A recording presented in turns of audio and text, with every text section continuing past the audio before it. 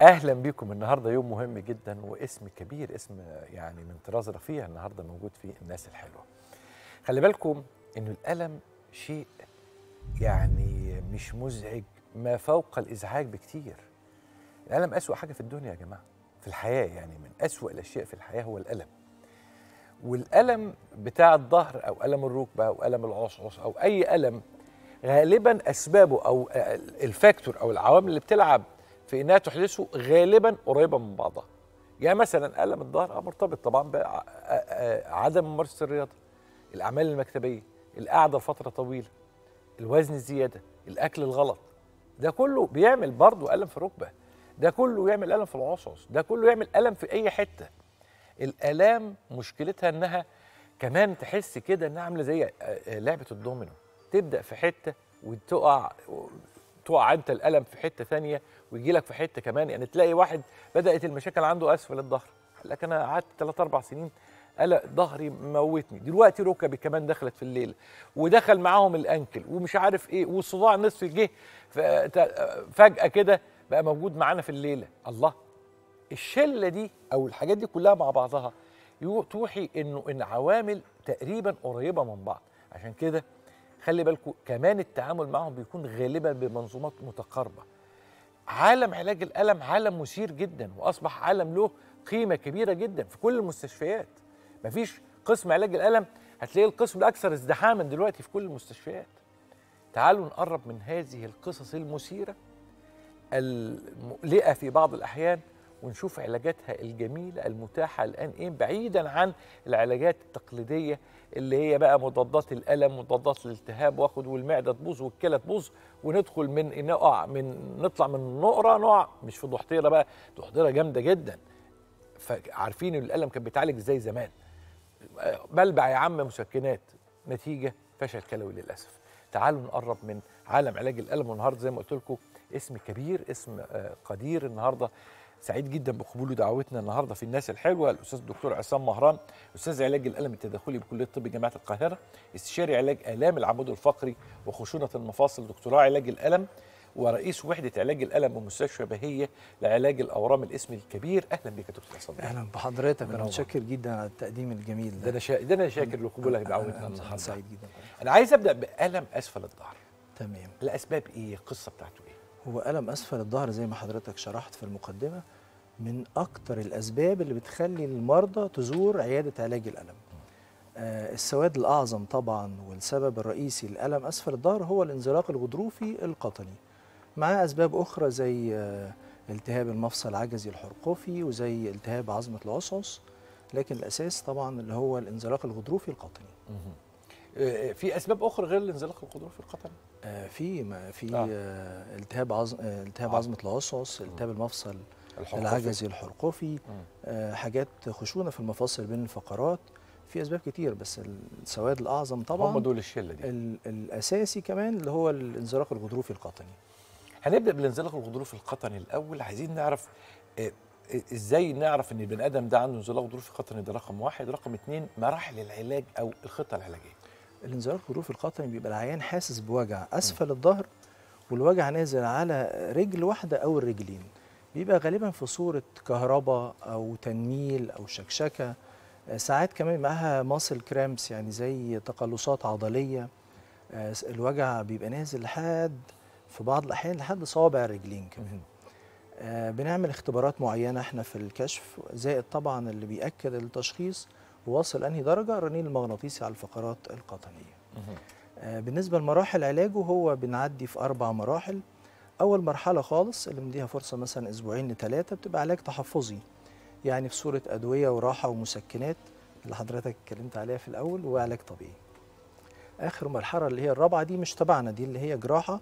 وده لو في حاجة من ريد فلاجز اللي هي العلامات الخطر زي سقوط القدم أو عدم التحكم في الإخراج.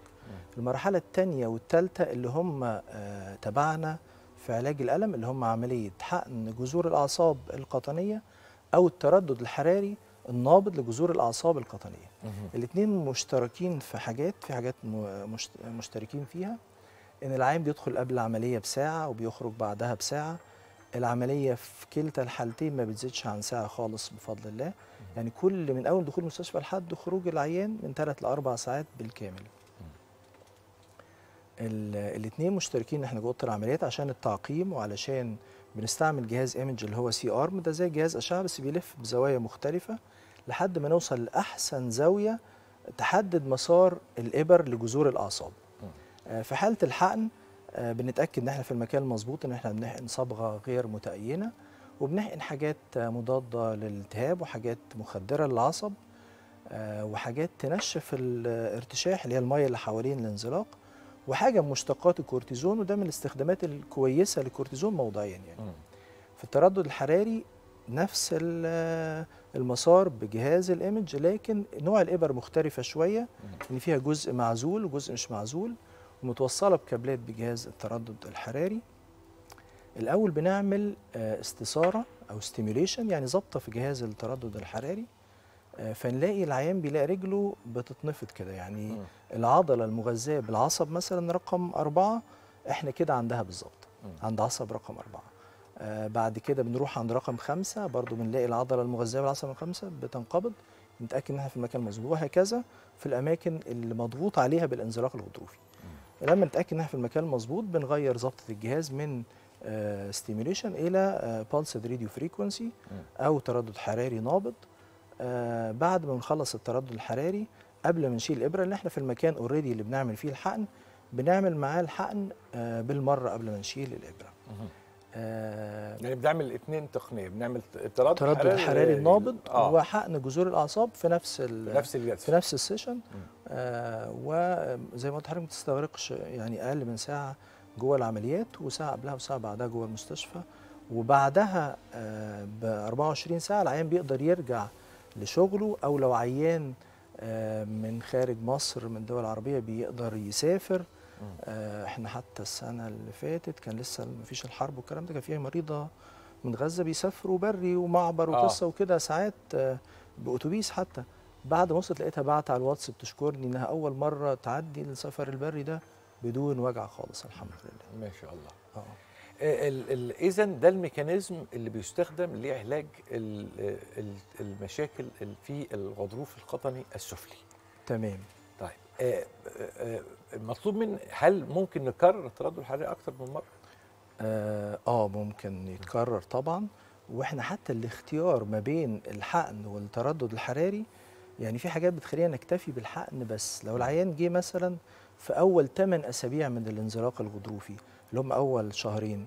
وكان الانزلاق الغضروفي بسيط بنعمل له حقن غالبا ما بنشوفوش تاني يعني بيخف خالص.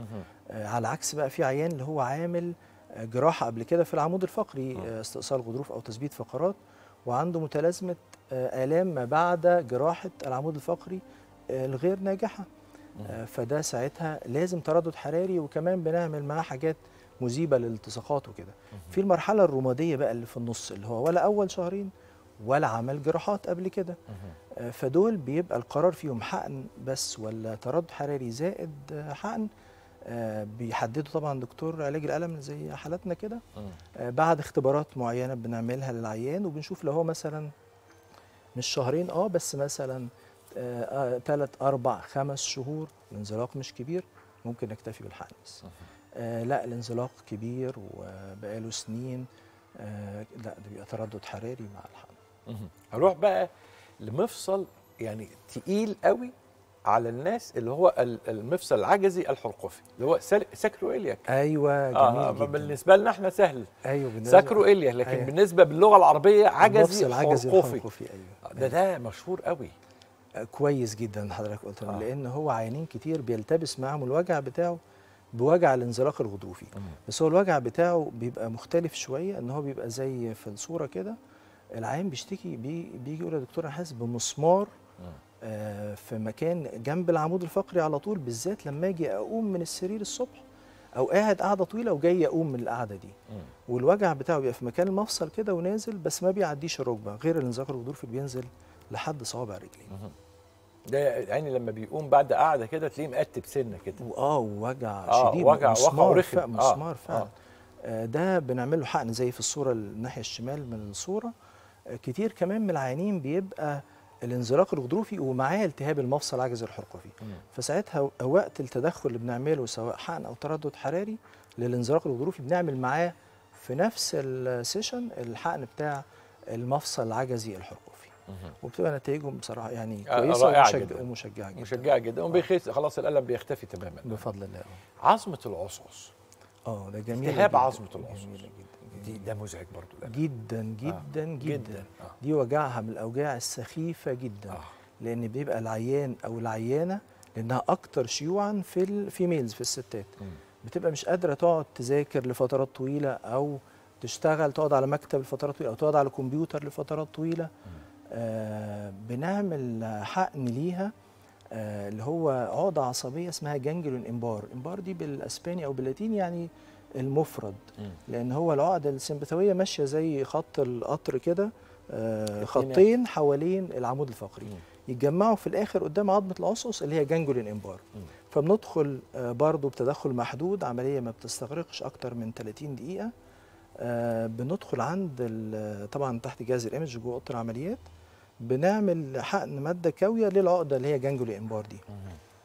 حضرتك ما تتخيلش بقى التحسن بفضل 180 درجة. يعني العيانه اللي هي ما كانتش قادرة تذاكر ولا تشتغل ولا تعمل بقت تقدر تقعد لفترات طويلة على الكمبيوتر وعلى المكتب تسافر وسيلة مواصلات ثلاث ساعات أربع ساعات أكتر. يعني من الحاجات اللي هي بتحسسنا آه، بلذة ال achievement إن إحنا فرقنا في حياة الإنسان في ال quality of life هو علاج الالم بصراحة نقل يعني العلاجات نقلة كبيرة بالحاجات الجميلة. آه. يعني الحاجات اللي هي بتغ... يعني بتحسن ال quality of life جدا يعني جودة الحياة للعيانين أو البشر يعني جدا يعني طيب هروح بقى لمشكلة كل بيت يعني دي مشاكل كتير من العمارات لا ده أنا بقول بقى كل بيت يعني ما فيش بيت.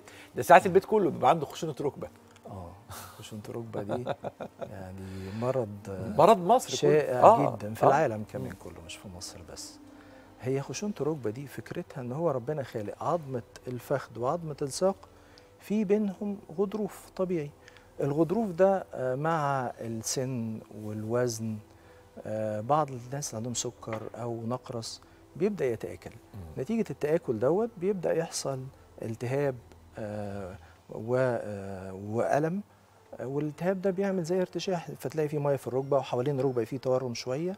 مع الوقت تكون زوائد عظمية زي بروزات في العظم فتزود الاحتكاك أكتر يزود الالتهاب والألم أكتر تبقى زي حلقة مفرغة سيئة.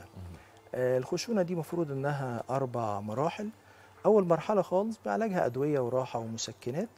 تاني وتالت مرحلة آه، ات- اتطور آه، التدخلات بتاعتهم جدا لحد ما حاليا بنحقن فيها مواد جيلاتينية عالية الكثافة وبعض العيانين بنعمل لهم معاها تردد حراري.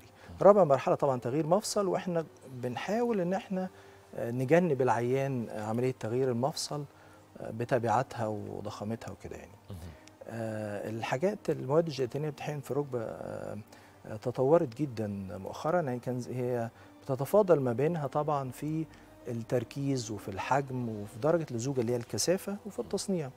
يعني درجة اللزوجة مثلا كانت زمان بتقاس بواحدة اسمها دالتون ما كانتش بتتعدى المليون دالتون خالص. حاليا بنستخدم حاجات آه، درجة اللزوجة أو الكثافة 4 مليون دالتون والتركيز بتاعها بيوصل ل 120 مللي جرام. فالحاجات دي آه، يعني بقت تقعد آه، مدة طويلة وبقت تخلي آه، العيانين كتير يعني منهم بيكتفوا بيها وبعضهم بنحتاج نعمل تردد حراري آه، بس مش نابض بقى thermal radio frequency للركبة مع حقن المادة الجيلاتينية عالية الكثافة اذا الخشونة بقى ليها علاجات كثيرة عشان ما تتفاقمش وما نوصلش لمراحل عشان ما. نوصلش لتغيير المفصل.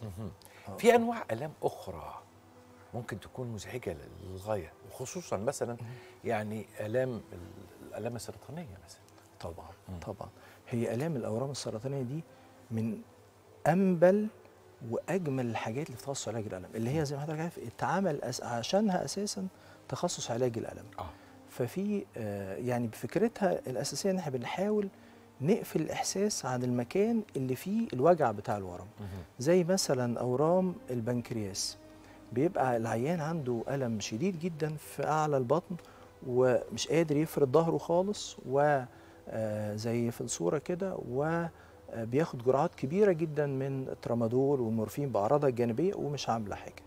آه، بندخل بنعمل آه، اسمها celiac plexus block أو حقن وتدمير العقدة العصبية السمبثاويه العليا للبطن. آه، برضو ما بتستغرقش ساعة.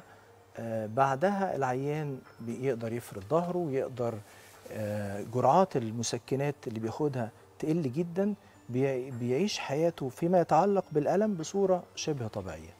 آه، في كمان آلام من الأورام السرطانية اللي هي آه، يعني أهالينا وحبيبنا اللي عندهم أورام في الثدي سواء عملت جراحة أو ما عملتش بيبقى في وجع في الإيد نفسها لناحية العملية.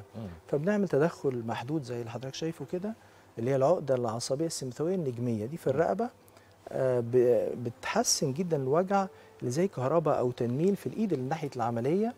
آه، وبتحسن طبعا جودة الحياة في العيانين آه، اللي عندهم أورام يعني سرطانية في ورق في ألم مخيف جدا هو ألم الحزام الناري الهربس زوستر آه أيوه. ده ده بقى يعني بيبقى أيوه. بعد- آه هو ده. أيوه. ده ده ال herpes zoster أيوه ده الهربس بعد ما بيروح الهربس بيفضل بقى ال post herpetic neuralgia اللي هو ألم الحزام الناري. ألم رهيب. جدا. بيبقى العيان الأول حاسس بكهرباء وشكشكة وبعدها بيوصل إن هو مش طايق حد يلمسه خالص وبعد كده حتى الهدوم نفسها بعض العيانين يقول لي أنا مش مش مستحمل الهدوم لمس الهدوم للجسم نفسها. آه، فبنعمل له تردد حراري لحاجه اسمها dorsal root ganglia اللي هي منبت الأعصاب اللي ماشية بين الضلوع.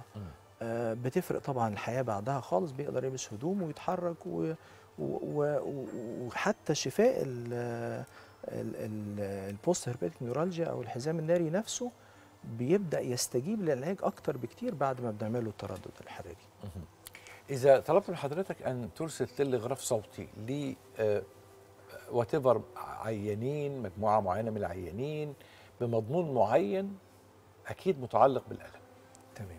هو علاج الألم تخصص ما كانش معروف.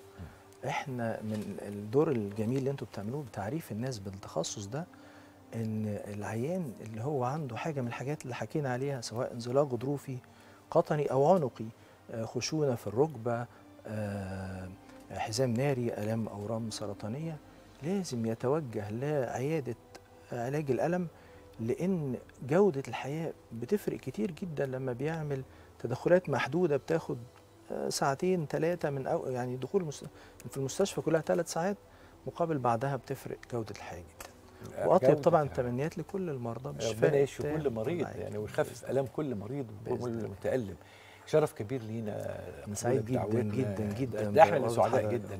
وسعداء جدا بكم المجهود اللي بيتعمل سواء آه. في آه، أقسام علاج الألم حضرتك بتشرف عليها أو في مستشفى بيه حاجة عظيمة جدا الله جدا يخلي حضرتك. شرف. كبير لينا جداً الجميلة دي. ونتمنى بقى إن إحنا نستفيد من هذا العلم في في القادم أنا استفدت جدا آه، بصراحة. وأنا سعيد جدا ورجعت الاناتومي. بتاع الجنجليه كلها. حضرتك أستاذ. لا لا لا لا لا عفوا بيه.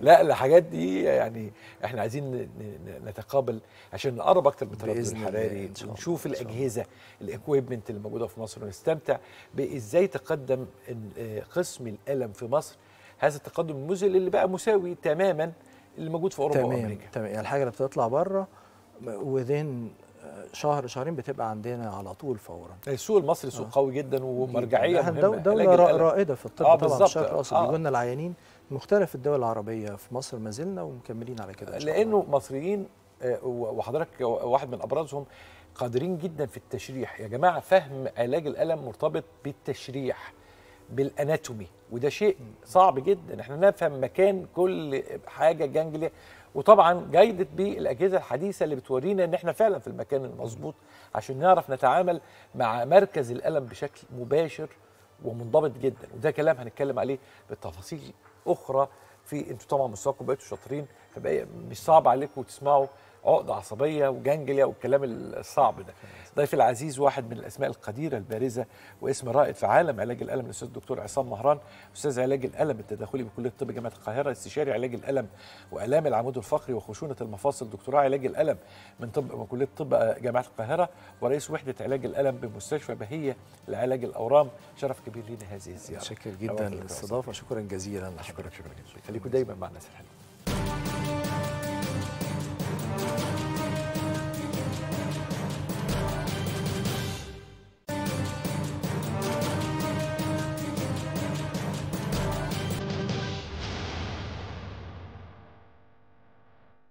أنت أحيانا تضر صحتك الإنجابية بشكل قد يكون قاسي للغاية.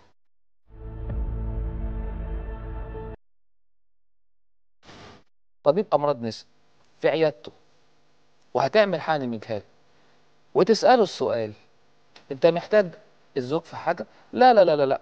هو كده كده يوم العملية هناخد منه العينة. ده ما اسموش حقن مجهري.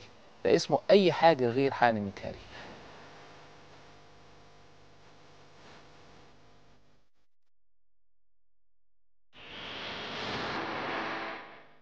من 9 فبراير 2020 في مراكز رياض الخصوبة والصحة الإيجابية لغينا التسقيم لأن ليس له أي دور في نجاح حمل الحالة بتاعة تكيس المبيض بالعكس قد يكون مؤذي ليها. الدكتور الشاطر عامل زي المخبر السري الشاطر أو زي المحقق لازم يتوقع أشياء في طيات الجريمة.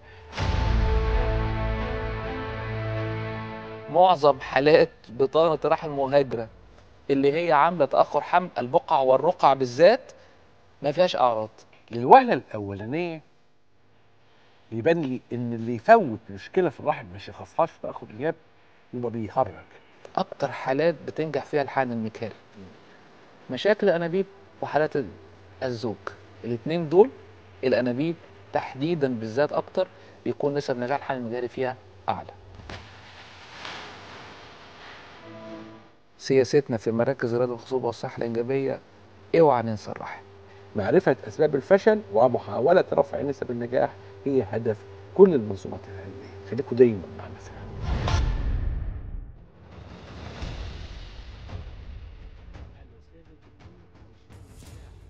أستاذ أمراض النساء والتوليد والعقم بكلية طب قصر العيني جامعة القاهرة.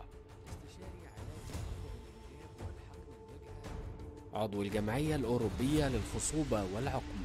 رئيس مجلس إدارة مجموعة مراكز وعيادات الرياض للخصوبة والصحة الإنجابية.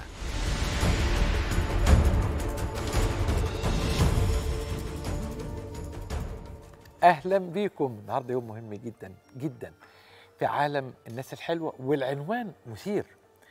إحنا ما زلنا في سلسلة اسمها سلسلة هقول إيه ال twist.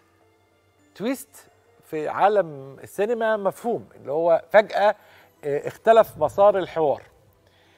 قبل كده خدنا نموذج لل twist ده لحدوث مفاجأة إنه اتقال لست أنت التبويض عندك كويس الب- البويضات عندك كويسه أو تبويض عندك كويس وهو مش كويس. الكلمة دي كلمة كانت مثيرة جدا جدا جدا. لكن يبدو إن هذا هو باب وراه احتمالات وأبواب كتيرة جدا. الباب أرجع تاني أقول لكم عنوان اللي موجود على الباب عنوان يعني يعني وأنت داخل كده أنت شايف إيه؟ الكلام كان يبدو حلو لكن جوه الكلام الحلو فوجئنا تمت المفاجأة بأنه في لأ في مفاجأة في حاجة ورا الكلام. تعالوا نقرب أكتر لأنه واضح من أن كلامي كله كمان غامض. من الموضوع. اللي عنوانه العنوانه twist عنوانه مش كل حاجة تتقال في الأول تبان simple العلم الدقيق بين إن في تفاصيل أكثر عمقا وأكثر غموضا. ضيفي العزيز القيمة العلمية الكبيرة والاسم القدير اللي بيمتعنا جدا. في عالم التأخر الإنجاب وعالم الحقن المجهري وعالم التعامل مع هذه الألغاز المهم جدا. الأستاذ الدكتور هشام الشاعر أستاذ أمراض النساء والتوليد وتاخر الإنجاب بكلية الطب جامعة القاهرة. استشاري علاج تأخر الإنجاب والحقن المجهري عضو الجمعية الأوروبية للخصوبة وتأخر الإنجاب ورئيس مجلس إدارة مجموعة مراكز وعيادات الرياض للخصوبة والصحة الإنجابية. أهلا بك أهلا بحضرتك دكتور أيمن. ما زلنا في سلسلة الغموض. فعلا. سلسلة ال twist. سلسلة المفاجآت فعلا. آه twist آه. twist end اللي هو مفاجاه أيوه. الست قال لها أنت التبويض عندك كويس وهو مش كويس. ال ال آه خلي بالكم يا جماعة. مختلفة. حاجة يبدو مختلفة. هذه حلقة كأن آه. إحنا في سلسلة حلقات ده حقيقي. من المفاجآت. من المفاجآت ومن الواقعيات اللي إحنا بنشوفها وإحنا بنعالج حالات تأخر الإنجاب. آه ومفاجأة أخرى غير لطيفة تماما عندما تصارح الزوجة بالواقع اللي هي فيه مم. الواقع اللي هي فيه ابتدى من الحكاية إن بعد الزواج وانتظرت الحمل إن هو يحصل الحمل ما حصلش توجهت آه إلى أحد العيادات و خطوه أولى في هذه العيادة الخطوة المشهورة جدا جدا جدا للأسف يعني وبتستخدم باستخدام سيء اللي هو الاسم اللي إحنا بنسميه في الطب دكتور أيمن mal use مم. mal use استخدام خاطئ وسيء اللي هو منشطات التبويض. وعدت مرحلة منشطات التبويض واتقال لها التبويض عندك كويس جدا. وبرضه ما حصلش حمل. انقطعت 3 4 شهور راحت لمكان آخر. مشيت في نفس السيناريو منشطات للتبويض واتقال لها التبويض كويس وبرضه ما حصلش حمل. ومكان ثالث وجايز رابع وخامس وفي الآخر قالت أروح إلى مكان متخصص. وشرفنا إحنا إن إحنا نشوف الحالة ديت. الحالة دي اللي هي راحت لأكتر من مكان واتقال لها التبويض كويس. للأسف كانت إنه مفاجأة إن إحنا بنقول لها على فكرة التبويض مش كويس خالص. إزاي يا دكتور؟ ده أنا رحت لكذا دكتور قبل كده والتبويض كويس. أيوه صح التبويض كويس من ناحية إيه؟ ان في عندك بويضة بتكبر آه في عندك بويضة بتكبر. توصل للحجم المطلوب آه بتوصل للحجم المطلوب. طب وبتخرج من المبيض؟ آه كمان بتخرج من المبيض. طب انت عاوز إيه يا دكتور أكتر من كده؟ أنا في عندي بويضة والبويضة بتكبر وبتخرج من المبيض. آه كل ده صح. بس أنا للأسف حضرتك مش بتكلم عن إن البويضه بتكبر وبتخرج من المبيض. أنا مش بتكلم عن حجم البويضه أنا بتكلم عن عدد البويضات اللي موجودة في المبيض. أنا بتكلم عن عدد البويضات اللي موجودة في المبيض. أنا بتكلم عن حاجة اسمها إيه يا ست الكل؟ أنا بكلم الزوجة. بتكلم عن حاجة اسمها مخزون المبيض. آه آه آه آن آن آه آه كان زمان كنا بنحب نعمل موسيقى تصويريه فاكر؟ راحت فين دي لا يعني كانت حاجة جبارة هنعملها تاني آه يا ريت والله الأوبشن ده والله. يا بجد يعني. نعمل ليه؟ لأنه هنا دي موسيقى تصويرية تختلف عن. أختنا اللي فاتت آه طبعا ممكن الاثنين يكونوا داخلين طبعا. والاثنين قاعدين بره بيكلموا بعض بالظبط والاثنين ستات والاثنين. اتقال لهم المغ... الم... الم... التبويض عندكم صح، كويس. الأولانية دخلت تقول لا التبويض آه. عندك مش كويس أنت عندك تكيس مبيض والثانيه دخلت صح. قلت لها لا التبويض عندك كوي... مش كويس انت تمام. عندك مخزون المبيض في خطر. تمام. بس حضرتك ملاحظ حاجة إن أنا نبره صوتي في شرح الحالة المرة دي. أكثر حزنا. أكثر حزنا من المرة اللي فاتت؟ آه طبعاً. آه طبعا. ليه؟ وأنا لأن- اتخضيت أكتر. آه طبعا طبعا. ليه؟ لأن دي بجد بجد الزوجة دي على حافة الهاويه فعلا. يعني الزوجة اللي قبل كده لا لا دي مشكلتها بسيطة وعندها عندها منه كتير بالبلدي كده عندها منه كتير. البيضات تكيس يعني المبايض. اللي هو آه. تكيس المبايض. تمام؟ عندها منه كتير خالص فما فيش مشكلة يعني. لكن اللي عندها نقص في مخزون المبيض لا دي فرصها قليلة قليلة في الحمل عموما. وحتى لو هنفكر في موضوع الحقن المجهري لا برضه فرصها في الحمل قليلة. فإحنا النهارده جايين نتكلم عن الحالات دي الحالات اللي هي عندها نقص مخزون المبيض واتفاجئت بالكلام ده اللي إحنا بنقوله لها انت عندك للأسف نقص مخزون المبيض رغم اني قبل كده في أماكن أخرى اتقال لها لا ده انت عندك تبويض كويس آه، صناع السينما على فكرة أنا عارف أنت مش مهتم بالحكاية دي وما عندكش آه. وقت ليها بس أنا بتابع آه تمام. آه، لأهمية مخزون المبيض عملوا فيلم لسه آه. قريب جدا نازل بتاع الأستاذة نيلي كريم والأستاذ محمد ممدوح ولطفي لبيب كان بيقوم بدكتور النساء. دول دكتور النساء الراجل العظيم ده. مم. وكان ال- الموضوع متعلق بمخزون المبيض. قال لها. انت. مخزون المبيض عندك فيه خطورة. تمام. ده هم كتبوه كويس. طب هايل والله. هايل جدا. اسمه أنا بشتري راجل. آه تمام. هايل آه، هايل آه. هايل. آه كان عندها كام سنة في الفيلم كانت قربت من ال 40 هايل قال لها. جمله و... و... الف... ال- تحفة الحتة يعني. دي. اتكتبت عشان تنمي آه. ثقافة الناس على فكرة. ده مهم جدا آه طبعا آه. ممتازة جدا بحيي الكاتب في الحتة ديت يعني آه. آه. ليه بقى لأن ده السؤال التاني اللي هو إيه يا دكتور ايمن بس عندك مكتوبه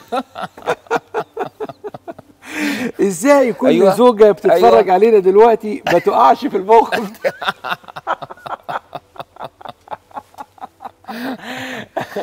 إيه إزاي فعلا كل زوجة فعلا بتتفرج عليها دلوقتي؟ نخرج بره المود الحزين ده.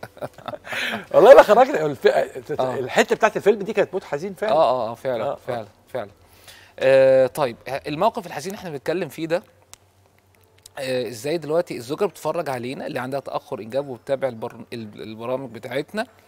إزاي آه ما تقعش في الموقف ده؟ طبيعي عشان ما تقعش في الموقف ده هي الأول تشك تمام؟ يعني يعني هي عندها تأخر إنجاب وراحت لمكان واتقال لها عندك التبويض كويس. طب هل التبويض كويس عندها ولا لأ؟ طب لحد ما تجينا في مراكز رياض الخصوبة برضو. هي إيه إيه- إيه اللي ممكن تفكر فيه وساعتها يخليها تقلق؟ ده ممكن يكون هي في في الموقف ده اللي هو موقف نقص مخزون المبيض أول حاجة اللي حضرتك قلتها في الفيلم اللي هي إيه؟ السن العمر. آه. بالنسبة لنا العمر شيء مهم جدا جدا جدا جدا.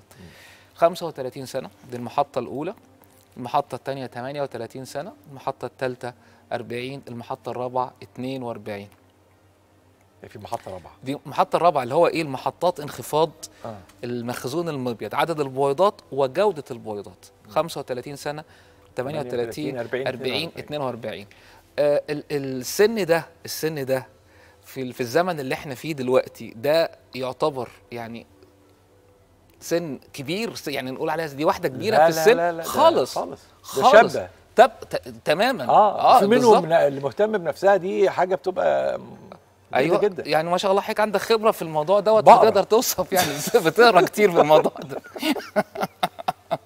بالظبط كده. زي يعني خبرة خبرة حضرتك في القراية هو فعلا صح؟ آه. هو فعلا صح. تمام ال يعني عادي. آه. بنوتة صغير ويعني في قمة الجمال والأنوثة. آه. لكن لا لا خالص. مخزون المبيض عندها في حتة وهي شكلها في حتة تانية خالص. مخزون المبيض عندها في الأرض وهي شكلها في الس... في, ال... في السماء. تمام؟ أقصد أقول ان يا جماعة ما تنخدعوش بإن الأمور كويسة وأنا شكل صغير وأنا أعرف قريبتي اتجوزت عندها 43 سنة وحملت في تاني شهر. يا جماعة دي استثناءات. استثناءات. بعد سن ال 35 وال 38 وال 40 وال 42 بتقل فرص الحمل جدا جدا جدا. حتى. لا. يعني معلش سؤال ساذج بس لازم اساله لك آه، لأن في آه. ناس بتربط الدورة المنتظمة بالحكاية دي. هايل جدا. هي الدورة معتمدة عليه على بويضة واحدة. بويضة واحدة. بويضة واحدة بتكبر وبتخرج من المبيض. خلاص دورة دورة بتنزل. لكن إحنا عشان حمل يحصل محتاجين بويضات كتير كتير. يبقى لها علاقة إن البو... إن الدورة بتحصل وإن فرص الحمل عالية. مش معنى إن في دورة بتنزل يبقى في فرص حمل عالية. تماما تماما تماما تمام هايل. طيب فعشان كده أي واحدة بتتفرج علينا فوق سن ال 35 يبقى لازم تقلق إن هي يكون عندها المشكلة دي. دي رقم واحد. رقم اتنين أي واحدة بتتفرج علينا وهي كانت عاملة قبل كده عملية في المبيض. للأسف يعني كان في كيس على المبيض وكان ممكن يتعالج بالأدوية واتعمل لها عملية. وللأسف كانت عملية فتح بطن واستكشاف واستئصال الكيس ومعاه حتة من المبيض وجايز المبيض كله. ما طبعا دي هيكون عندها نقص في مخزون المبيض. رقم اتنين. الحالة الثالثه اللي هو عندها اتقال لها ده انت عندك بطانه رحم مهاجرة على شكل حاجة اسمها كيس شوكولاتي موجود في المبيض. كيس شوكولاتي نفسه الكيس نفسه اللي موجود في المبيض ده ده بيقلل من مخزون المبيض. رقم أربعة آه سيدة آه يعني ربنا يشفيها جالها ورم خبيث واضطرت إنها تاخد علاج كيميائي. العلاج الكيميائي ده بيأثر على مخزون المبيض أو علاج إشعاعي في منطقة الحوض. علاج كيميائي في أي حتة في الجسم بيأثر على مخزون المبيض. علاج إشعاعي في منطقة الحوض بيأثر على مخزون المبيض. يبقى إحنا قلنا نماذج. نفكر نفسنا بيهم كده. واحدة فوق سن ال 35 واحدة عملت عمليات قبل كده في المبيض ده رقم اتنين. رقم ثلاثة واحدة عندها ما يسمى بكيس شوكولاتي موجود في المبيض يعني عندها حاجة اسمها بطانة رحم المهاجرة بس موجودة في المبيض وهنتكلم عليه بالتفصيل بعد كده. رقم أربعة واحدة خدت علاج كيميائي أو إشعاعي. رقم خمسة رقم خمسة سهم كده يعني أقصد كده. ده إحنا هننزله كده. إيه ده؟ ولا واحدة من الأربعة دول. اجوبتك ولا واحدة من الأربعة دول. يا ولا. عملت عمليات ولا ولا, كيس شوكولاتة ولا سنها. ولا حد في العيلة ولا, ولا- جينيتك يعني ولا أي حاجة. كله فل الفل. ولا تعرضت لأي علاج. ولا خدت أي علاج. وكل عيلتها ما شاء الله ستات بيضات وبيجيبوا بالتوأم. لكن هي هي لوحدها عندها ما يسمى بنقص مخزون المبيض. المبايض عندها هي شخصيا هي هي دي واحد هي شخصيا دي ما يسمى بانتحار جماعي في البويضات. البويضات عمالة تموت بتموت بتموت. لوحدها الله يبقى معنى كده إن كل واحدة عندها تأخر حمل لازم تقلق إن يكون عندها نقص مخزون المبيض. طبعا لو كان السن زايد لو كان خدت علاج كيميائي لو عملت عمليات في المبيض لو في بتطرح مجرى هتبقى الاحتمالات أعلى وأعلى. بس حتى لو ما فيش الأربعة اللي أنا قلتهم دول للأسف ممكن يكون برضو عندها نقص في مخزون المبيض وجودك معنا شرف كبير لنا دائما. الشرف ليا يا دكتور ايمن ليا. العلمية الكبيرة الأستاذ دكتور هشام الشاعر أستاذ أمراض النساء والتوليد وتأخر الإنجاب والمدير ورئيس والمؤسس ورئيس مجلس إدارة مراكز الرياض للخصوبة والصحة الإنجابية. كان ضيفي في واحدة من أرقى حلقاتنا على الإطلاق لكن قصة النجاح أكيد ستكون مستمرة. فخليكم مع الناس الحلوة.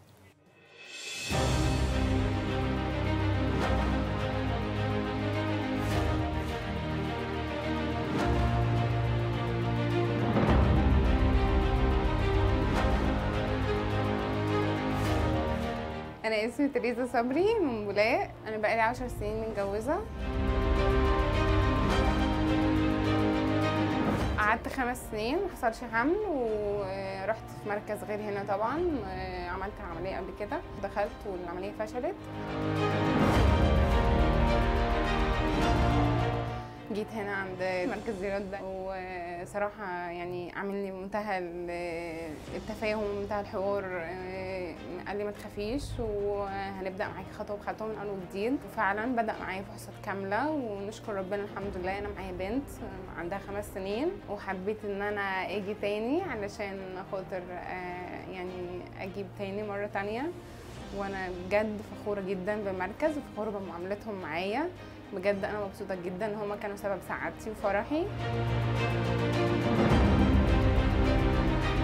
أنا فعلا أول ما عرفت إن أنا حامل أنا كنت بعيط فعلا أول ما جوزي جاب التحليل والمركز طبعا بلغوه بتاع التحليل بلغوه في التليفون. قبل ما يجي يجيب النتيجة عندي في البيت كان بلغه هناك وهو كان في الشغل اتصل بيا.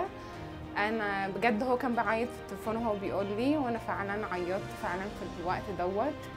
حسيت قد إيه إن أنا إن أنا تعبي ما, راحش يعني وخلاص لأ أنا ربنا إداني ثمرة. صراحة المكان هنا متجهز يعني كويس جدا وأنا يعني لما بخش يعني بلاقي كل الناس بتعامل لي بحب و... وأي حاجة أنا بستفسر عليها أو أنا أي سؤال أنا عايزة أسأله أو أي حاجة مضايقاني أو أي حاجة هو صراحة بيفهموني ولو في أي حد ضايقني أو أي حاجة برضك بي بيشوفوا إيه سبب المضايقه أو كده وبيحلوه. صراحة يعني الطاقم ممتاز جدا ونشكر ربنا الحمد لله أنا يعني مرتاحة بجد جدا إن أنا موجودة في المكان. بالنسبة لقسم العمليات أنا أول ما بدخل هناك صراحة الطاقم الممرضين بيدخلوني هناك وبيعاملوني بمنتهى التفاهم وبياخدوني بكل هدوء وبيقعدوني. وصراحة هناك المكان مجهز جدا وحاجة نظيفة ومحترمة بجد. وبخش هناك هو طبيعي بيبقى في قلق في توتر بس ده كان في أول مرة. بعد كده خلاص خلاص إحنا اتعودنا بينا. خبرة يعني في الحاجات دي ونشكر ربنا الحمد لله يعني. بجد أنا أنا فرحانة وعايزة الناس كلها تفرح زيي أنا فرحانة إن ربنا كرمني بسبب المركز وعايز كل الناس تفرح بسبب المركز دوت يعني مركز الرياض وربنا يفرح قلبها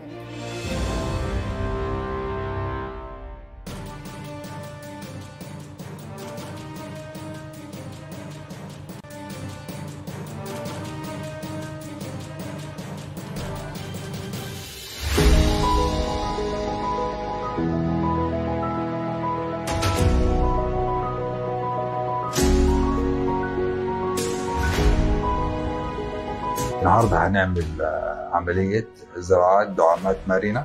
المريض آه، 65 سنة آه، عنده أمراض مزمنة. والمريض استنفذ كل الطرق اللي قبل كده لعلاج ضعف الجنسي سواء حبوب أو إبر موضعية أو غيرها. وإن شاء الله العملية بإذن الله بتبقى ناجحة في غرفة العمليات بنسبة 98 99% وإن شاء الله ربنا الموفق بإذن الله.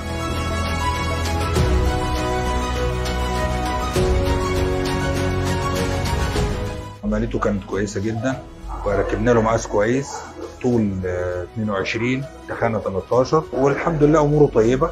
هيقعد من حوالي من أربع إلى ست أسابيع ممنوع الجماع. إن شاء الله ربنا يكرمه وامه بالسلامة إن شاء الله.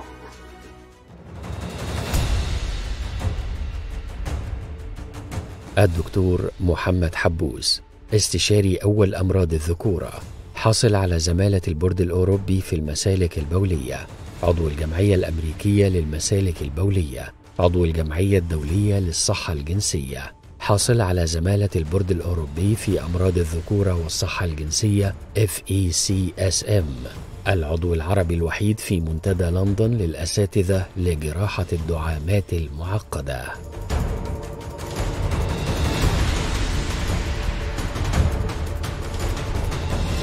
الدكتور شريف البرعي حاصل على البورد الأوروبي في أمراض الذكورة والصحة الجنسية FECSM عضو الجمعية الأمريكية لأمراض الذكورة والصحة الجنسية. المدير الطبي لمراكز GCPI لزراعة الدعامات الذكورية. عضو الجمعية الأوروبية لأمراض الذكورة والصحة الجنسية.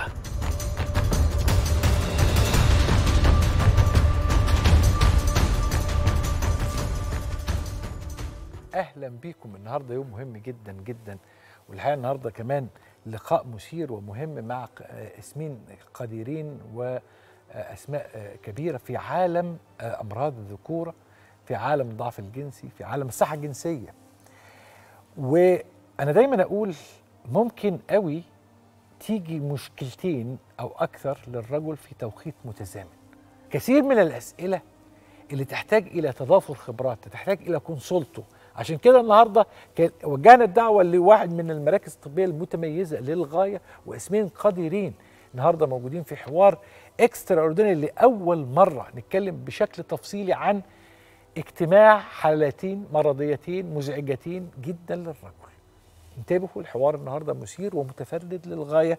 اسمحوا لي أن أرحب النهارده من اليمين إلى اليسار. هنمشي من اليمين. مش عايز أسأل الادميه عشان بتزعل الحكاية دي. هنمشي من اليمين إلى اليسار. النهارده ضيفي العزيز واحد من نجوم عالم أمراض الذكورة الأستاذ الدكتور محمد حبوس استشاري أول أمراض الذكورة وصاحب زمالة البورد الأوروبي للمسالك البولية وعضو الجمعية الأمريكية للمسالك البولية والجمعية الدولية للصحة الجنسية وصاحب زمالة البورد الأوروبي لأمراض الذكورة والصحة الجنسية والعضو في منتدى آه، آه، اللندني للأساتذة لجراحة الدعامات المعقدة الاسم الكبير. أهلا بك يا دكتور حبوس. وسهلا. سعيد جدا بهذه الزيارة. وضيفي العزيز القيمه العلميه الكبيره الأستاذ الدكتور شريف البرعي صاحب البورد الأوروبي لامراض الذكوره والصحة الجنسية عضو الجمعية الأمريكية لامراض الذكوره والصحة الجنسية والمدير الطبي لمراكز زراعة الدعامات الذكورية GCPI وعضو الجمعية الأوروبية لامراض الذكوره والصحة الجنسية. الاسم القدير. أهلا بك يا دكتور شريف. أهلا بيك دكتور أيمن جدا. بهذه أنا الزيارة. اللي سعيد بوجود حضرتك. أنا النهارده ه- يعني هسأل طبعا واضح إن إحنا النهارده consulto بس هبدأ الأول ب آه، اهميه الكونسولت أهمية وجود مركز متكامل في ال- الأمراض الخاصة بالذكورة من دعامات وخلافه. أهميتها إيه؟ أهميتها إن كل حاجة في جسم الإنسان بتأثر في كل حاجة. النبي صلى الله عليه وسلم قال إذا اشتكى منه عضو تداعى له سائر الجسد. وده كان إعجاز نبوي. كل حاجة بتأثر في حاجة.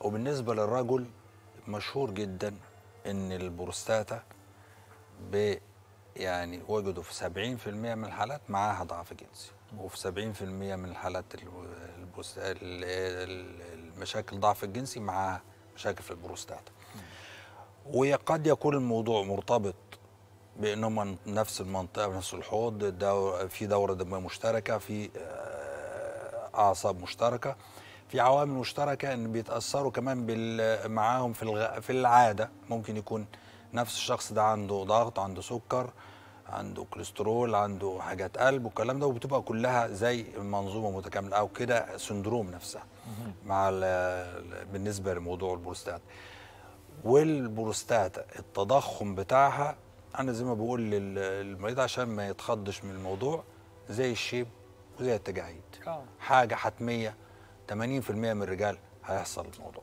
لكن بتختلف من واحد للتاني. زي برضو الشيب والتجاعيد في واحد على سن 40 سنة نص شعره شايب. وفي واحد على 60 سنة ثلاث أربع شعرات شايبين. فالبروستاتا ممكن تكون عند واحد 45 50 سنة توصل ل 50 100 100 جرام وزيادة. وممكن على واحد سنه 65 سنة يا دوب تضخم بسيط 30 30 جرام. تمام؟ فيبقى في اختلافات. وفي اختلافات دي في الغالب familial لحاجات أسرية. بالنسبة لمو... لموضوع بالنسبة للتضخم بروستاتا وبالنسبة للضعف الجنسي أهمية ال consulto خصوصا كمان ال consulto له قيمة عند آه، إخواننا اللي جايين مصر يتعالجوا لأنه بيبقى جاي بكذا مشكلة مع بعض وعايز يتعالج في مكان واحد غالبا. السياحة العلاجية هنا شيء مهم جدا. مهم جدا جدا.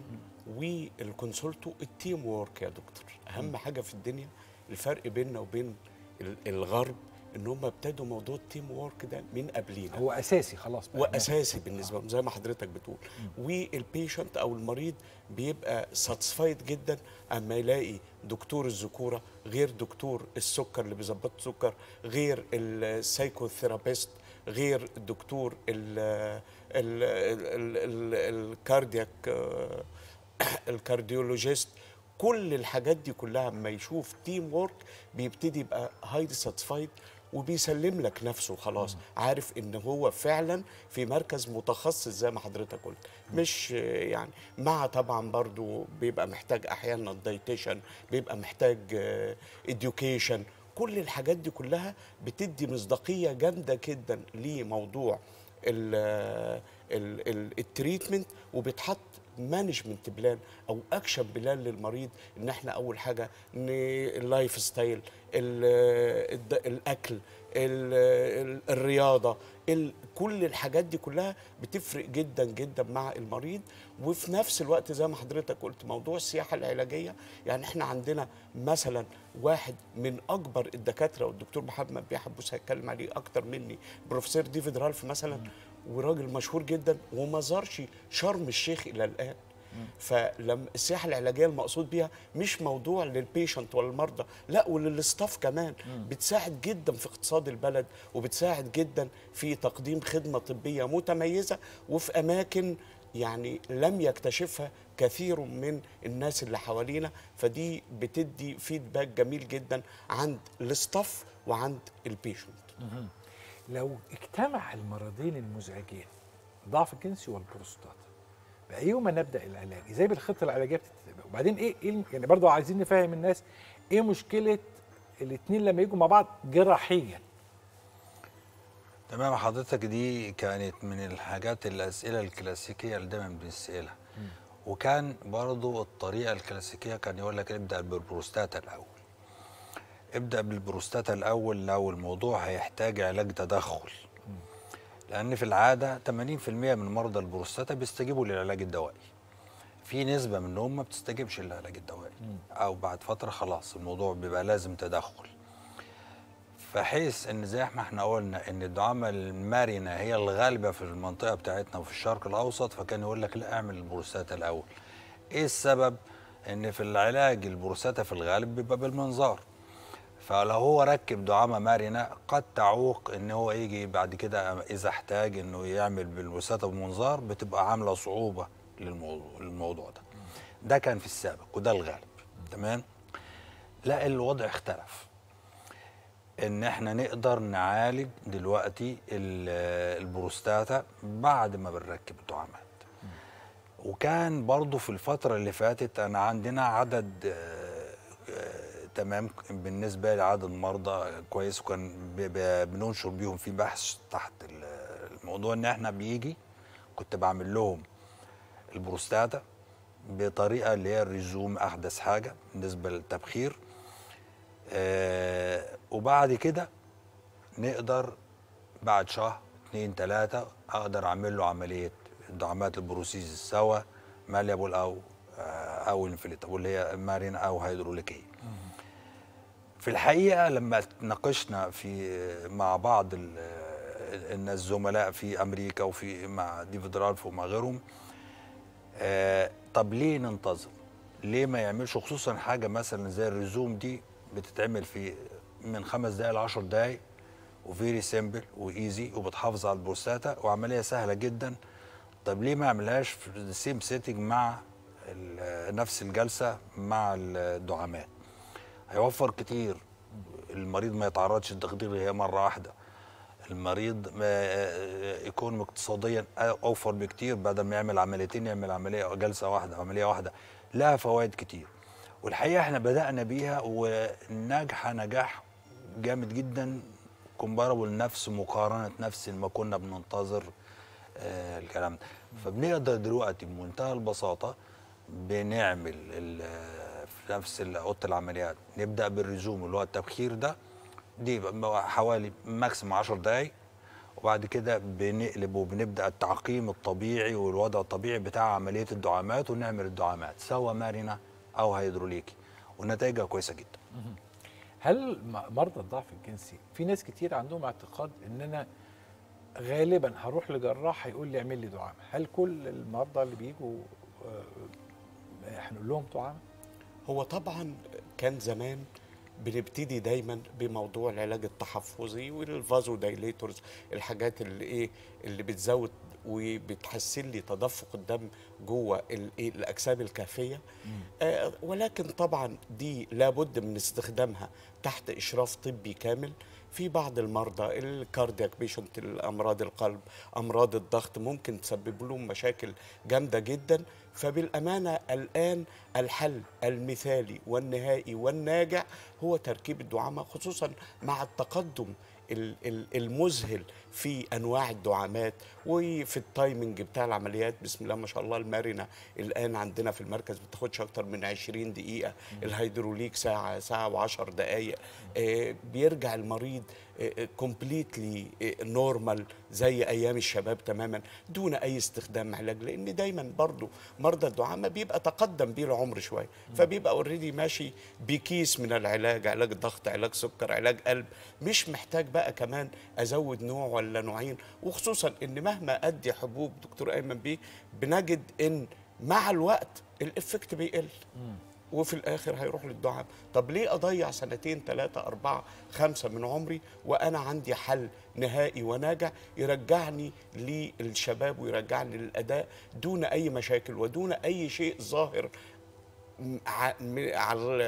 على العضو الذكري تماما من الخارج يعني المريض بنقول له لو لم تخبر زوجتك مش هتعرف ودي حقيقة. في مرضى كتير جدا ما قالوش لزوجاتهم وما بيعرفوش وبيقضي العلاقة الحميمية من أروع ما يكون وبنسبة نجاح تصل إلى 99% لو في حاجة في الدنيا 100% كنا قلنا 100% هو ما بيتقالش في 100% الجراحة دي في 100%. الآخرة. آه. آه فيعني طالما هذا الحل موجود وحل مرة واحدة و once forever دلوقتي ليه ما ناخدوش ونختاره من الأول وبنخبر بيه المريض و99% من المرضى اوتوماتيكالي بيختار هذا الحل الجراحي الناجع تماما. هذه العملية عملية الدعامه يق- يعني دايما تعبير إنها عملية قياسات وعملية تعقيم في الأساس. تمام. آه. نحكي على الكلام دول. ال- القياسات يعني برضو بالنسبة ده بيختلف من واحد للتاني. إحنا بنبقى عندنا في أوضة العمليات جاهز جميع المقاسات الموجودة بال- المرنة لها مقاسات في ال diameter في التخانة أما ال- الهيدروليكي لها مقاسات في الطول. وبعد كده ممكن نزود أو ننقص في حاجات بتنضاف ليها. ودي كلها لازم تكون already موجودة عشان وأنا شغال وأنا في أوضة العمليات وبعد ما بفتح بقيس الجسم الكهفي من منتصف ال- الرأس إلى العظمة بتاعه الحوض. والقياس ده هو المهم جدا. لا ينفع ندي زيادة ممكن تسبب مشاكل وألم وممكن تحصل إنها تخرم لا قدر الله. أو من نقصان بحيث إن إيه يدي قصور وما يبقاش المريض مبسوط ويبقى زي ال supersonic اللي هي الكونكورد اللي بنقول عليها دي ويبقى الأمور برضو مش مريحة. يبقى هو برضو دي مهمة جدا ودي بتعتمد بشكل أساسي جدا على خبرة الجراح. مش في القياس نفسه لا في القياس بشكل صحيح. زي بيروني إحنا اتكلمنا قبل كده عن بيروني. بيروني ده إحنا ممكن نركب له حاجة 9 9 ونص وممكن نحط له 13 أو 14 بالنسبة للتخانة. طب إزاي؟ ما يكون في أوضة مليانة موبيليا وعايز أدخل موبيليا جديدة كل ما افضي الموبيليا الموجوده واللي تبقى فاضية كل ما أقدر أدخل أكتر. يبقى أنا كل ما أقدر أشيل التليفات والكتل اللي جوه دي ودي برضو تحتاج لخبرة ومهارة عشان أقدر أشيلها بأقل المضاعفات وبأفضل وضع معين لأنها بتبقى عاملة زي الحاجة. آه آه تبقى بتبقى حاجة solid، فظيعة آه، آه. آه. stone، زي stone. زي stone بالنسبة للكلام ده. فدي أقدر أوسعها كويس وأقدر أحط آه، حجم كويس مرضي لأن أصلا المريض جاي زعلان إنه حصل له انكماش من المرض نفسه. فكمان مع بعد ما أحط الدعامات بأقل من الوضع اللي هو عنده بيبقى نسبه الرضا تكاد تكون معدومة. فأنا كل ما أحط أكتر دي بتعتمد على خبرة الجراح كل ما يكون الوضع أفضل والناتج أفضل. ساعات العملية تحتاج صبر طبعا. ده طبعا والموضوع ممكن ياخد الدكتور شريف بيتكلم عن ال average مثلا إحنا ممكن بالنسبة للهيدروليك ممكن من 40 دقيقة إلى ساعة ونص ده العادية. لا ال- اللي معاه بيروني ومعاه تليفات أو بتتعمل تاني مرة أو الناس اللي عندهم sickle cell اللي كان عندهم آه، انتصاب مستمر والكلام ده. آه آه، دول آه، ممكن نقعد ثلاث ساعات على رأي ديفيد رالف بيقول لك nightmare تمام؟ يعني آه، آه، آه، آه، بالنسبة كابوس. للجراح آه. آه. إن هو بيقعد كلام. تحتاج صبر طبعا ومهارة جامد جدا عشان في النهاية أنا بحط نفسي مكان المريض ده. أنا عايز أحط أفضل حاجة له في وضعه اللي هو فيه. في في في عالم الدعامات كلمة satisfaction مهمة جدا عشان كده المتابعة بعد العملية ليها قيمة كبيرة. جدا مهمة جدا جدا. لازم نتابع post operative مهم جدا لأن زي ما اتفقنا إنه 90% من اللي بيعملوا أو أكتر chronic patients diabetic hypertensive cardiac فلازم ال post op لحد ما يحصل healing تماما في الجرح. بنقول تق- تقريبا العلاقة الحميمية من 30 ل 40 يوم بعد الايه التركيب. ونطمئن على ال satisfaction بين الرجل وزوجته. كان حضرتك سألت سؤال مهم جدا هل الدعامة بتعالج سرعة القذف هي زي ما الدكتور محمد قال إن هي بتعالج سرعة القذف إلى جانب انها كمان المشكلة في سرعة القذف دكتور أيمن إن مجرد إن الشخص ي ejaculate ال penis خلاص بي بيحصل له خلاص ارتخاء آه. آه. ميزة بقى الدعامة إن بيستمر ال erection موجود وبستمر في العلاقة الحميمية إلى أن تصل الزوجة إلى ال satisfaction وما بعد ال satisfaction هو علميا واكاديميا سرعة القذف مش محطوط مع الضعف الجنسي كأسباب لكن هو واقعيا وبرضه شبه علميا هو فعلا سبب من أسباب الضعف الجنسي إحنا كنا تمام. بنعمل آه. النهارده لمريض دكتور محمد عمل عملية مغير له penile prosthesis من malleable ل inflatable النهارده آه كان مركب ال malleable الأولانية لأن أنا اللي بقابل المرضى في الأول دايما وباخد ال history وبكشف عليهم وبوضبهم للدكتور محمد علشان يعمل عمليات جراحية. السبب الرئيسي لموضوع تركيب الدعامة المرنة كان premature سرعة القذف ما كانش عندك ضعف انتصاب قال لي ابدا لأن سرعة القذف دي برضو من الأسباب الرئيسية التي تؤدي ممكن إلى الانفصال. لأن هي الزوجة هتروح فين؟ ما الزوجة إحنا دايما بنقول جنسي. العلاقة الحميمية لازم أقوم عامل حاجتين فيها. رقم واحد راضي زوجتي رقم اتنين راضي نفسي. يعني لابد إن أنا أخلص العلاقة الحميمية بإلقاعدتين الاثنين طب لو أنا عندي سرعة في القذف ما استحالة الزوجة هترضى. ما يحصلش إشباع وما طبعا. بيحصلش إشباع. ولا بد من الإمتاع. وعندنا قاعدة ذهبية برضو بتقول النجاح يؤدي إلى مزيد من النجاح. والفشل يؤدي إلى مزيد من الفشل. لو أنا قضيت العلاقة الحميمية اللي قبل كده وكنت يعني أنا مرضي وزوجتي مرضية هتلاقيني أدخل العلاقة الحميمية اللي بعديها بمنتهى القوة والإمتاع يبقى أكتر. لا قدر الله إذا حصل فشل هتلاقيني بيحصل لي ال avoidance إن أنا بهرب من العلاقة الحميمية. أبتدي أقول لا ده زوجتي شكلها تعبان. لا ده الولد تعبان النهارده. ده أنا مرهق. طب خليها لبكرة. بكرة يجر بكرة. يبتدي يبقى في decrease في الليبيدو نقص في الشهوة والرغبة. يبتدي سرعة القذف تزيد لأن كل ما بطول ال- ال- ال- period على ما أمارس العلاقة الحميمية كل ما سرعة القذف تزيد هتزيد. كل ده بسبب سرعة القذف تؤدي إلى آه، فشل شديد في العلاقة الحميمية. أنا عايز أروح بقى ل- لو لو عيان مركب دعامات وجاله تضخم في البروستاتا هنتعامل الخريطة الأسلوب العلاجي هيتعامل هيمشي إزاي؟ التضخم اللي حاصل إحنا طبعا هنبدأ بالنسبة له بالعلاج الدوائي بالنسبة للبروستاتا آه بنتدخل أو إحنا بعد كده بنعرض عليه الرزوم في حالة من الاثنين زي ما قال الدكتور شريف بيه إن أغلب الناس دي عندهم حاجات مزمنة عنده سواء سكر ودواء ضغط ودواء كوليسترول ودواء وهو مركب دعامة كمان آه, آه. آه. دي الدعامة دي عالجت له الانتصاب لكن آه. ما عالجتلوش الحاجات التانية بالظبط تمام فكمان هيجي ياخد علاج بروستاتا. فبنقول له زي ما قلنا قبل شوية إن زي التجاعيد والشيب يعني إيه؟ يعني دي مزمن هتاخد علاج بروستاتا ده forever إلى الأبد. إزاي يا دكتور؟ لا أنا مش عايز آخد ده أنا عايز أشوف لي حل. طب حل؟ إحنا بنعمل التدخل في حالة من الاثنين يا إما واحد بياخد العلاج الدوائي بتاع البروستاتا ومستجيب وكويس ومبسوط بس مش عايز ياخده طول العمر. أو واحد بياخد علاج بروستاتا بس مش مستجيب. ده لازم يروح للسكة الثانية اللي هو التدخل. لأن البروستاتا لو سبناها هتعمل مشاكل على الكلى على الفشل على حياته نفسها أسلوب حياته هتبقى مأساوية بالنسبة ليه.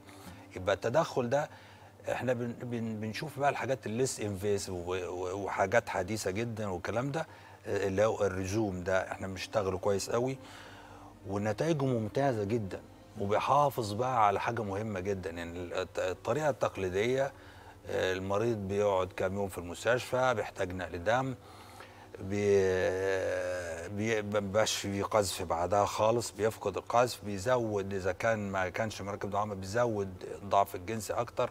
في سلس بول في أشياء كتيرة جدا. في العملية القديمة. في العمليات اللي هي الكلاسيك. آه. تمام؟ والكلاسيك لغاية دلوقتي هي ال gold standard أو ناس كتيرة بتمشي عليها. لا الريزوم أنا بحافظ على البروستاتا ك function وظيفة لانها وظيفة. ربنا سبحانه وتعالى خلقها لها وظيفة. بس بفتح زي الطريق اللي أنا عامل لي انسداد للبول ده هو اللي بحقن فيه بخار اللي هو معمول موجات الراديو تحت طريقة معينة كده. ممكن فيديو animation ممكن يبقى يتذاع مع الموضوع. آه بيوضح بسهولة جدا إن دي خلاص في العملية سهلة وبسيطة. 10 دقايق وتع- مخدر موضعي. ويقدر يطلع بعد كده بعد شهر بالكتير تخلص من جميع الأدوية بتاعة البروستاتا. والبول ينزل طبيعي وبيرجع لوضعه الطبيعي جدا. ال- ال- ال- القيمة المهمة جدا للكونسولتو.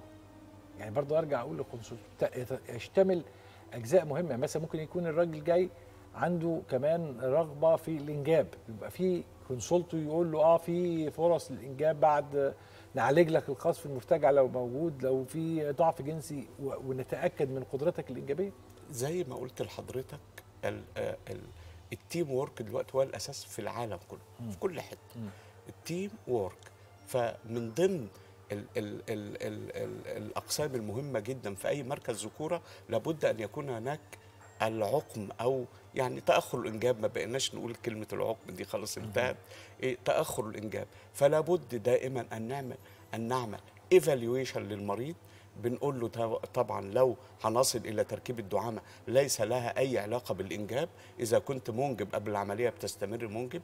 إذا كان هناك أي مشكلة في موضوع السائل المنوي من حيث عدد الحيوانات المنوية حركة الحيوانات المنوية الأشكال المشوهة بيتم علاج هذا الموضوع تماما وبتمشي الأمور دون أي تأثير سواء حتى علاجات الفازو دايليتورز اللي هي محسنات الدورة الدموية للعضو الذكري أو تركيب الدعامة ليس لهم أي علاقة على الإطلاق بموضوع تأخر الإنجاب أو بموضوع السائل المنوي أو بموضوع زيادة السائل المنوي.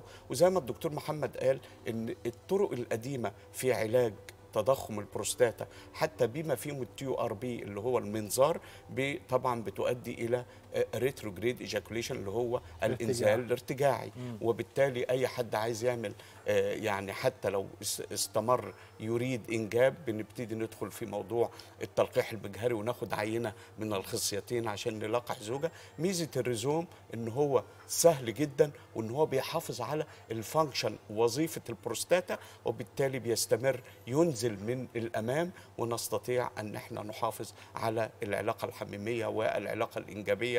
سليمة كما هي تماما. آه، قيمة كمان وجود خبرات علمية أج- آه، يعني غربية من مدارس مختلفة. يعني إحنا مثلا شفنا ديفيد رالف كارلو أسماء عالمية. في الحقيقة دول يعني طبعا إحنا م- ما بتطلع بره بتروح مؤتمرات وبتقدم research وأبحاث. أساس القصة دي كلها اللي هو تبادل الخبرة وال knowledge exchange تمام؟ وال experience مع بعض. في الحقيقة ديفيد يعني من من 2008 تقريبا صديق آه، شخصي واشتغلت في- London University Hospital معاه آه، وبعد كده كنا عملنا أبحاث مع بعض. يمكن اتكلمنا قبل كده أبحاث بيروني الحاجات دي كلها هو عامل مشترك من فريق البحث والكلام ده. وديفيد رقم واحد في أوروبا من حيث عدد زراعة الدعامات ومن التوب آه فايف هو تقريبا. مطور مهم جدا في عالم الدعامات آه آه top five. على. مستوى العالم يعني ومسمينه خبير بيروني. آه. يعني هو بيتميز على الجراحين البريطانيين إحنا بلغتنا إحنا كمصريين صنايعي. آه. يعني جراح علمي وصنايعي. فما شاء الله. فكنا هو, بال- اتكلمنا هو بيرتجل يعني يعني دايما الجراحين ال guideline بيمشوا على خطوات واحد اثنين آه. ثلاثة لكن في ساعات في العملية أو في ال situation بيفترض الارتجال في العملية أو وين كل عم- حالة بتاخد way غير التاني فبيقولوا عليه tailored surgery yes اللي هو إحنا قلنا اللي حضرتك قلت عليه التعبير اللطيف في المصريين آه. بيقولوا عليه صنايعي. صنايعي. آه حريف. آه. آه. ف ليفر عارف آه. جمعتنا حاجات كتيرة جدا في في الشغل. اشتغلنا حالات كتيرة جدا في السعودية وفي مصر. واما جيت اتكلمنا مع بعض في فكرة ال GCPI المركز العالمي للدعامات رحب بيها جدا.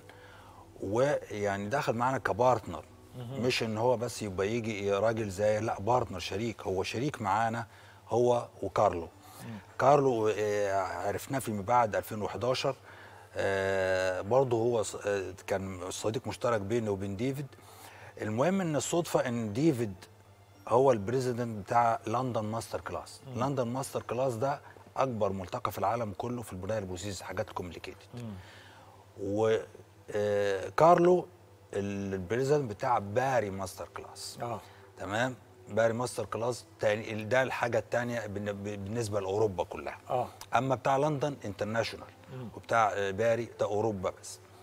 آه، وأنا عضو في ال faculty في الاثنين تمام؟ وتقريبا العضو العربي الوحيد في في كلامنا ف يعني إحنا بنجمعنا إحنا الثلاثه زي ما بتقول صداقة شخصية وصداقة عمل وخبرة طبعا. آه وفي حالات كتيرة جدا بيحصل آه بتصل ديفيد أنا عندي حالة كذا كذا باخد رايه وببعت له الصور وهو نفس القصة. تمام؟ بالنسبة في بعض الحاجات اللي اللي الكلام ده كله. يعني يعني مثلا أنا عندي خبرة في في ال malleable أفضل بالكتير جدا منهم وأكتر من العدد اللي هم آه مش بال مش بالكثره دي. ال insurance أصل هم الشركات بتاعت ال insurance آه. بت... داخل عليهم الشركات ال- الدعامات نفسها. ال prosthesis. فهي ال penile prosthesis فرضوا عليهم خلاص إن هم يشتغلوا بال inflatable بشكل Including كامل لأن دي الدولة هي اللي بتدفع. فمش فارق يعني بالنسبة للإنشورنس كتير من اللي حوالي لكن في ناس في أمريكا الجنوبية كتير قوي بيشتغلوا آه، آه، آه، مرنه ماريا آه ماريا بالعكس وكمان بتصنع في البرازيل وفي آه. آه. في الأرجنتين. آه. لأن برضو من هم إن العدد عندهم قريب زي من عندنا من الشرق الاوسط آه. والكلام ده. لكن زي ما اتكلمنا قبل كده وقلنا إن ما زال اللي المفروض إنه يتعمل أقل بكتير جدا من اللي هو المفروض يتعمل. اللي بيتعمل المواقع أقل بكتير جدا من المفروض يتعمل. اللي بيتعمل في العالم كله. آه في في العالم العالم كله. آه. ما زال كثير جدا من الرجال في العالم كله يعانون من ضعف جنسي ويرفضون الاعتراف بده. بيهربوا في كتير من الناس. هي كانت دراسة إحنا اتكلمنا عليها قبل كده إن انتهت بالموضوع ال conclusion بتاعها إن الأساس كله إن awareness عدم الوعي. عدم الوعي. ما يعني ما مش عارفينها بالطريقة المظبوطه أو مش عارفين أصلا. لحد الآن بيجي لي عدد كتير من المرضى يكون لسه سامع عنها امبارح ويا دوب وبسرعة يا دوب ده أنا ما أعرفش الموضوع ده ده أنا سمعت من كذا ده أنا فلان بالصدفة. وبعدين المشكلة في حاجة مهمة إن اللي بيعمل ما بروحش ولا أنا عملت. دي ال- دايما في الطب في حاجة اسمها الكلمة المنقولة اللي هي إحنا بنعتمد عليه لكن في عالم الذكورة مفيش كلمة منقولة على فكرة. آه. الكلمات الختامية. نحب نختم بيه نقول إيه؟ في الآخر نحب نختم إن لابد إن الضعف الجنسي ده مرض زي أي مرض في الدنيا زي مرض الصدر زي مرض الكبد. أول ما بيتعب صدري بروح على أستاذ صدرية. بتتعب بطني بروح على أستاذ باطنيه ب- بيتعب الكبد بروح على أستاذ كبد. لابد لأن ده ممكن بيأثر على الحياة ككل. وزي ما إحنا قلنا هناك ارتباط وثيق جدا بين الدورة الدموية العضو الذكري والدورة الدموية القلب ال coronaries يعني كل الأساتذة اجتمعوا على ان لما نعمل penile duplex ونلاقي فيه shortage في ال blood supply لازم أنصح مريضي لازم تروح تعمل ايكو ولازم تروح تشيك على القلب بتاعك لأن دي علامة من علامات بداية تعب القلب. الكلمة الختاميه ال multidiscipline discipline بالنسبة لل team ال- multidiscipline team آه. كله بيكمل كله. في العمل الجماعي. آه. وافتكر حديث النبي صلى الله عليه وسلم. إذا اشتكى منه عضو تداعى على وسائر الجسد. كل الجسم بيأثر في كله. تمام؟ فاهتم بالصحة. مفيش نعمة في الدنيا بعد الإيمان والإسلام اللي ربنا من عليهم بيه أكتر من الصحة والعافية. الإيمان الواحد أهم نعمة في الحياة بلا شك هو أهم نعمة الإيمان. خلينا وطبعا هنتكلم على حاجة مهمة قوي أختم بيها أنا بقى. إنه الضعف الجنسي هو الحالة المرضية. في حالات مرضية كده كتير. التي لا يمكن أن تجد من يعاني منها عنده إحساس بالسعادة. ما- يجيلوش إحساس. بالسعادة. يعني طول ما هو عنده ضعف جنسي هو ما عندوش إحساس بالسعادة صح يعني تطرد الإحساس بالسعادة في.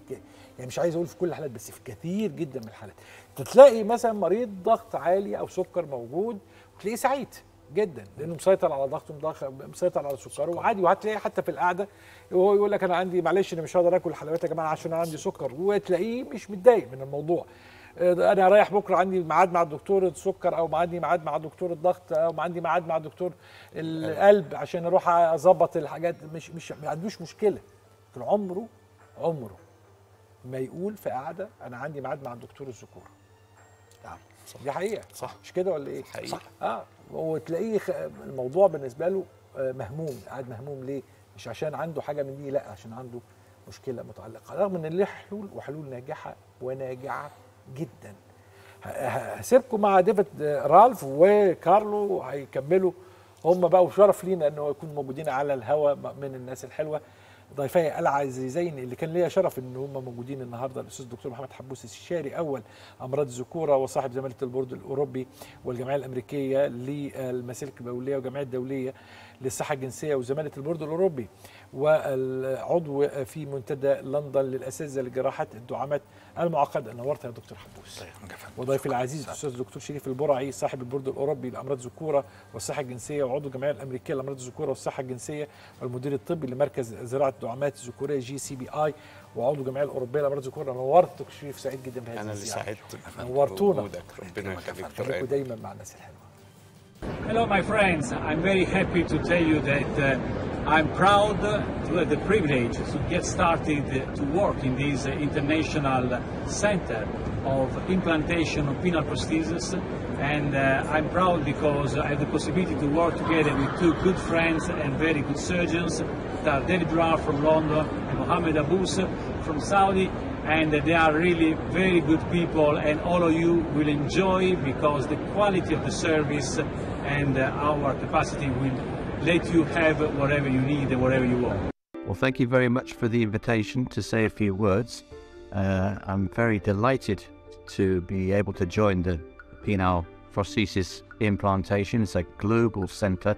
We'll be operating all over the world, but uh, for those of you in Saudi, uh, we'll be there as well.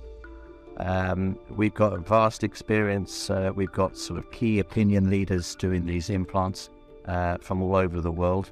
Uh, and of course, you have the local team uh, to look after the patients.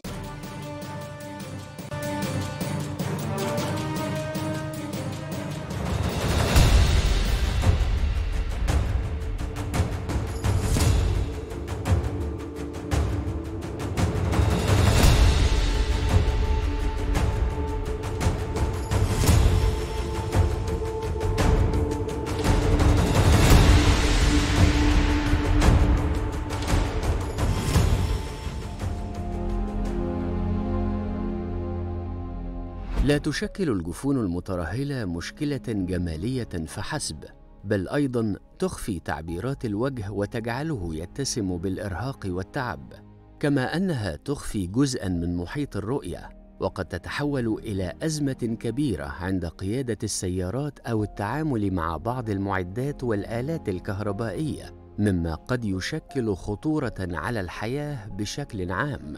ففي أي سن يمكن أن تبدأ الإصابة بارتخاء الجفون أو سقوط الجفن؟ وهل للرجال أيضا أن يفكروا في تجميل الجفون؟ أهلا بيكم. إجابة على كلام هاني آه رجاله يعملوا إيه المشكلة؟ يعني ما هو الجفون تجميلها رجالة وستات. ده, ده الجفون أساسا عملية تجميلية مش للشكل بس ده للوظيفة. ده مهم. ده ساعات الإنسان ما بيقدرش يسوق بيصحى من النوم عينيه مقفولة مثلا يعني. ممثلين كتير في العالم عملوا على فكرة تجميل جفون ممثلين كتير جدا في العالم. وهناك بقى في أمريكا تحديدا بيعملوا ماركتنج جدا لجراحات التجميل. هنا في مصر بيعملوا بينكروا يعني ما أعرفش ليه. يعني يعملوا العملية وما يتكلموش عنها خالص وما يجيش سيرتها. ولما يتسألوا ما بت... عملت جراحة تجميل يعني تحس إنه سؤال يعني كأن أنا. ب... ب... ب... بقول لك حاجة تمس يعني شكلك يعني. بالعكس هناك بيقولوا بيوصفوا العملية وبيقولوا بيقولوا نتائجها الإيجابية. وإذا كان ليها نتائج سلبية برضه بيقولوا. يعني من أشهر الناس اللي عملت تجميل جفون جوان ريفرز. جوان ريفرز طبعا هيبان بقى القبل وبعد. يعني شوف قبل كانت المسألة لأ صعبة. وهنا بقى عملت face lift والى آخره. كاترين زيتا جونز دي أشهر كتير. كانت محتاجة كان لازم تعمل. ليه؟ لأنه المسألة كان فعلا في تقل وتضخم. كبير جدا في الجفون بتاعتها.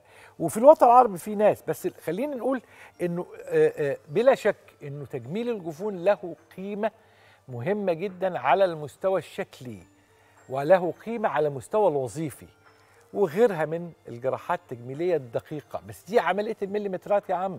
يعني لازم اللي يعملها يكون متخصص فيها ولازم يشتغلها يعني بحذر شديد جدا جدا. ولازم يكون القرار برضه متأني ومفحوص لأن إحنا ما بنتكلمش على ايمرجنسي برضه إحنا بنتكلم على عملية ممكن تتأجل أسبوع أسبوعين ثلاثة مثلا. لكن لما تتعمل لازم تتعمل صح. ومن أول مرة لازم تتعمل صح.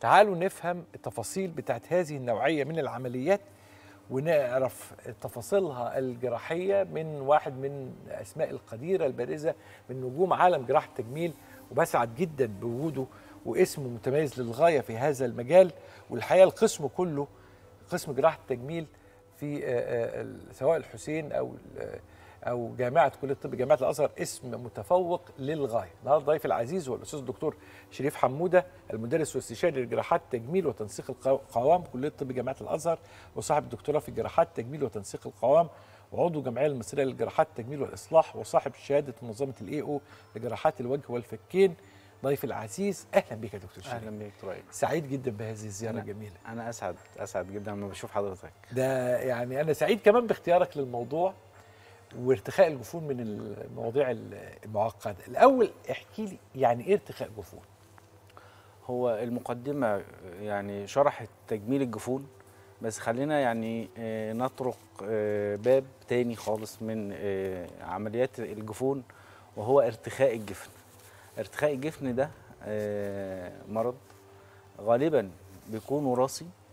الأطفال بيبقوا مولودين بالجفن أو الجفنين فيهم سقوط.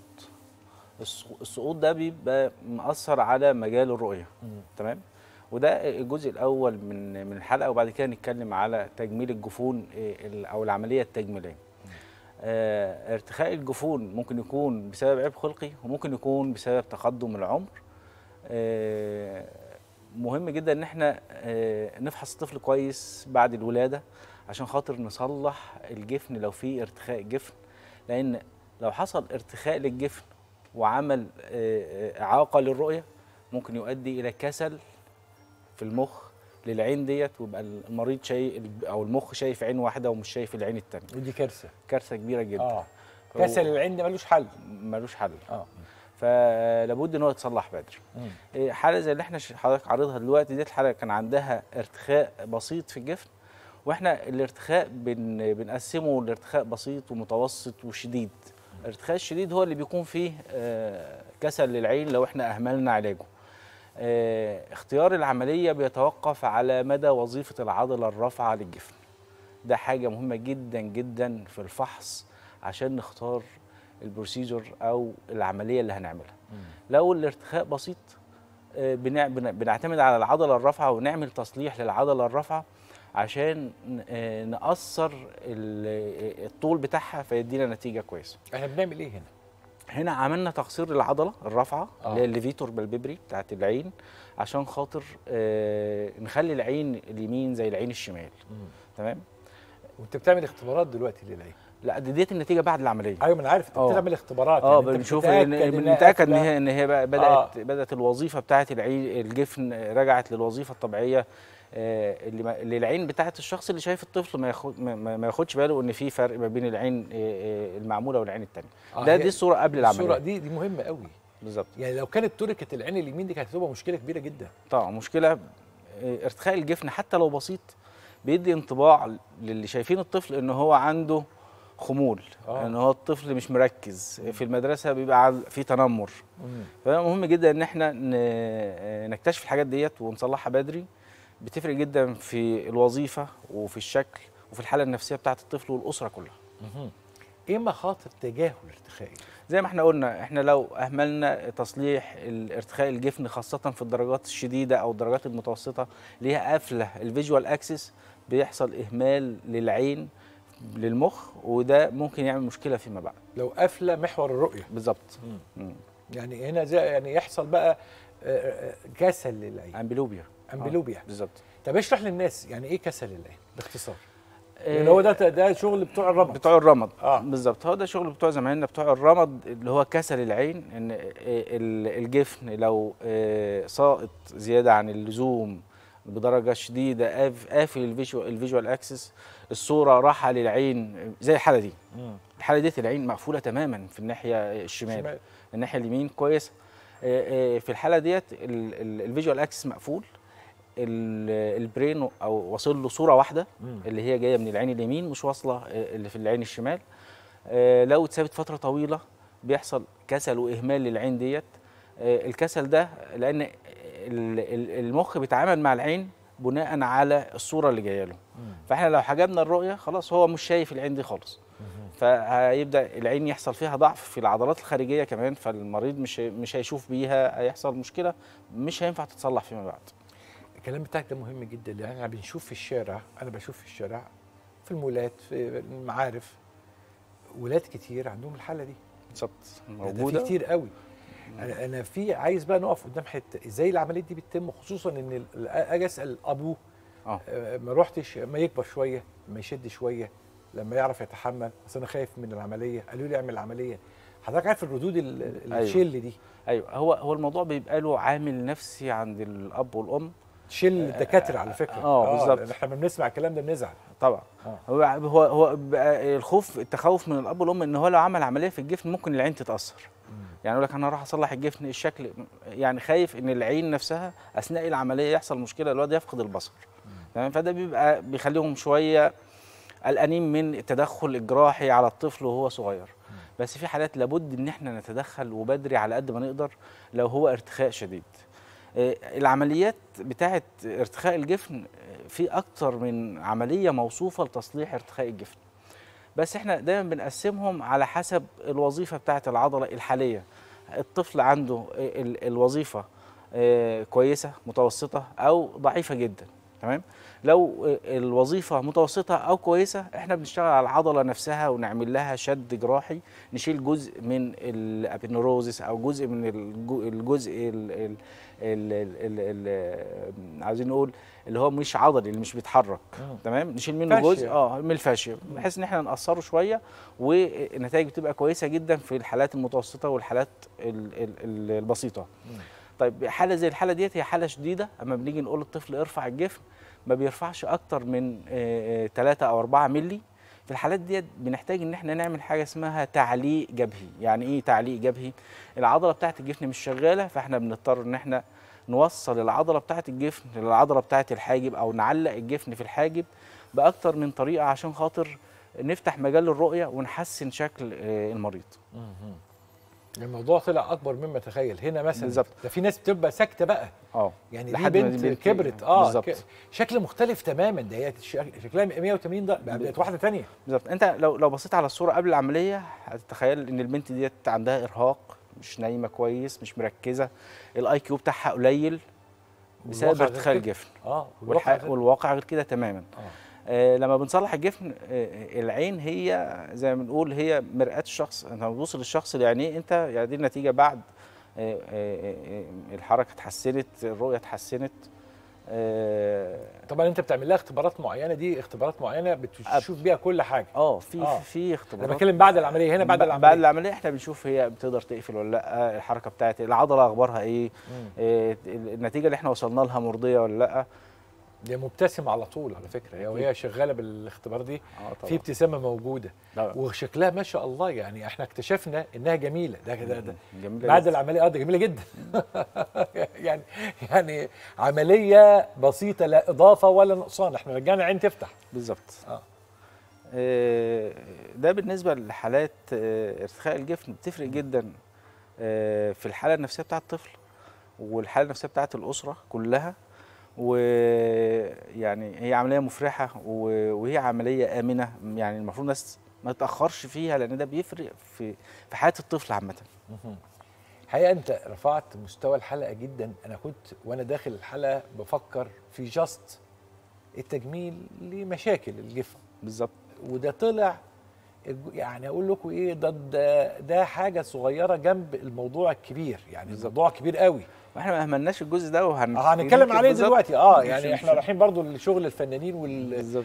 والناس اللي عايزة الجمال الج... لازم نتكلم عن ال functional وال aesthetic reconstruction ده جزء وعلم من من يعني والكو- آه بالظبط. وال congenital anomalies أو على فكره على فكرة قسم التجميل بتا...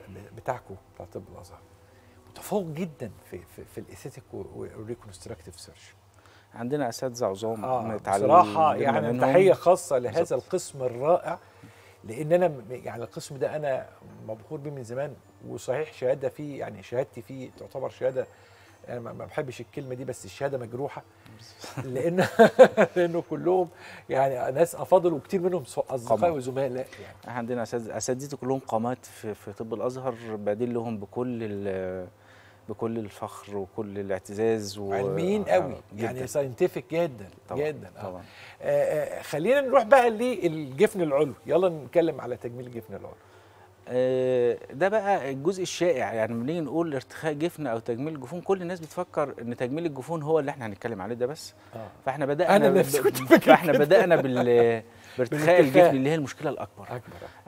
ارتخاء تجميل الجفون أو تهدل الجفون. يعني في آه. فرق بين الارتخاء اللي إحنا اتكلمنا عنه وتهدل الجفون اللي إحنا هنتكلم عليه دلوقتي. تهدل الجفون ده مشكلة بتحصل غالبا مع تقدم العمر. تمام؟ مع السوشيال ميديا والموبايل واللابتوب والتلفزيونات وكلام من ده كل ده. والعدسات كل ده حاجات بتعمل إرهاق جامد في العين.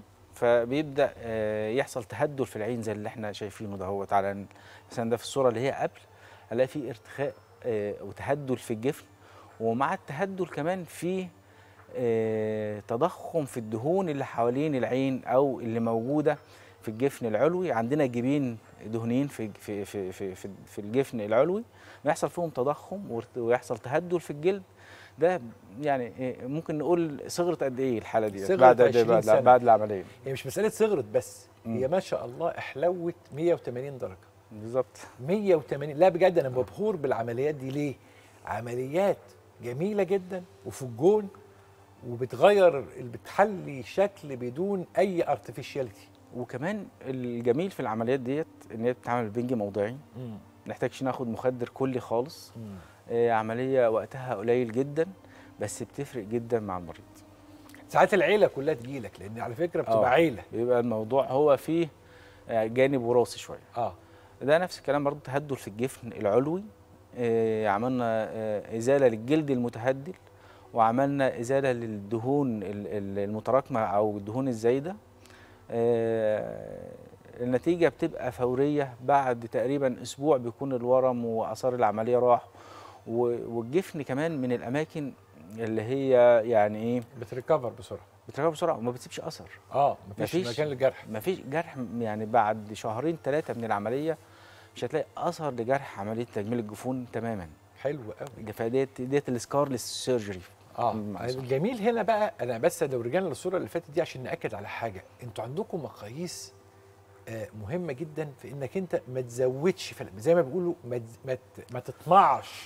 في القصة ال over correction أو أو إن إحنا أو ال perfectionism في الجفون مش مطلوب. مش مطلوب. دايما تقدر آه، عشان بس redone. نقرب من الناس مم. نقرب من الناس عشان يفهمونا. يعني في الع... في الصورة دي مثلا الناس كتير تبص لها تقول إيه؟ طب ما كنا نوسع كمان. لو طمعنا أكتر من كده خطر. آه خطر. لأن إحنا بنقابل مشاكل إن الجفن ما يقفلش. آه. اللي هو ال lagophthalmos مم. لو الجفن ما قفلش نخش في مشاكل بقى keratitis ال keratopathy يعني لازم لازم انت حاسب. بالظبط. بالظبط. آه. آه آه. يعني هنا لازم إحنا نبقى في أمان مأمنين نفسنا ويبقى ال correction مظبوط. تمام. آه، هي كمان ال- ال- المريضة يعني بتحس بالفرق فبتبقى مبسوطة بأي نتيجة ما بالك إحنا قريبين من الطبيعي. آه. لا ده كده فل قوي بقت كده عينيها حلوة. آه هي كمان آه، لو سابت نفسها أو مع مع الكبر ال- مع الكبر في السن الموضوع هيزيد أكتر لدرجة إن الجلد المتهدل ده ممكن ينزل يداري ال- الرؤية. الجلد نفسه مش الجفن. مش الجفن مش مش ال lid margin. لا الجلد نفسه ده ممكن يعمل حاجة اسمها dermatochalasis. الجلد نفسه ينزل يغطي على الجفن وبنشوف حالات من دي كتير. بس مهم جدا قبل الحالات ديت إن إحنا نعمل assessment لل eyebrow أو لل- لل- للحاجب. لأن في ناس بيبقى عندهم سقوط في الحاجب نفسه. آه، مهم جدا ان إحنا آه، آه، نفرق ما بين الحاجب عند الست وعند الراجل يكون الحاجب في معاييره أو في في في, وقته أو في مكانه المظبوط عشان خاطر ناخد نتيجة كويسة. طيب عايز بسرعة أفوت على الجفون السفلية. الجفون السفلية إحنا عندنا طريقتين من العمليات يا إما نعمل فتح من الجلد يا إما نعمل من داخل العين على حسب إحنا عندنا تهدل في الجلد زي الحالة دي تهدل في الجلد وتراكم في الدهون. لو هو آه، تهدل في الجلد وتراكم في الدهون بنفتح من الخارج ونشد الجلد الزايد ونعمل تصليح للعضلات ونشيل الدهون.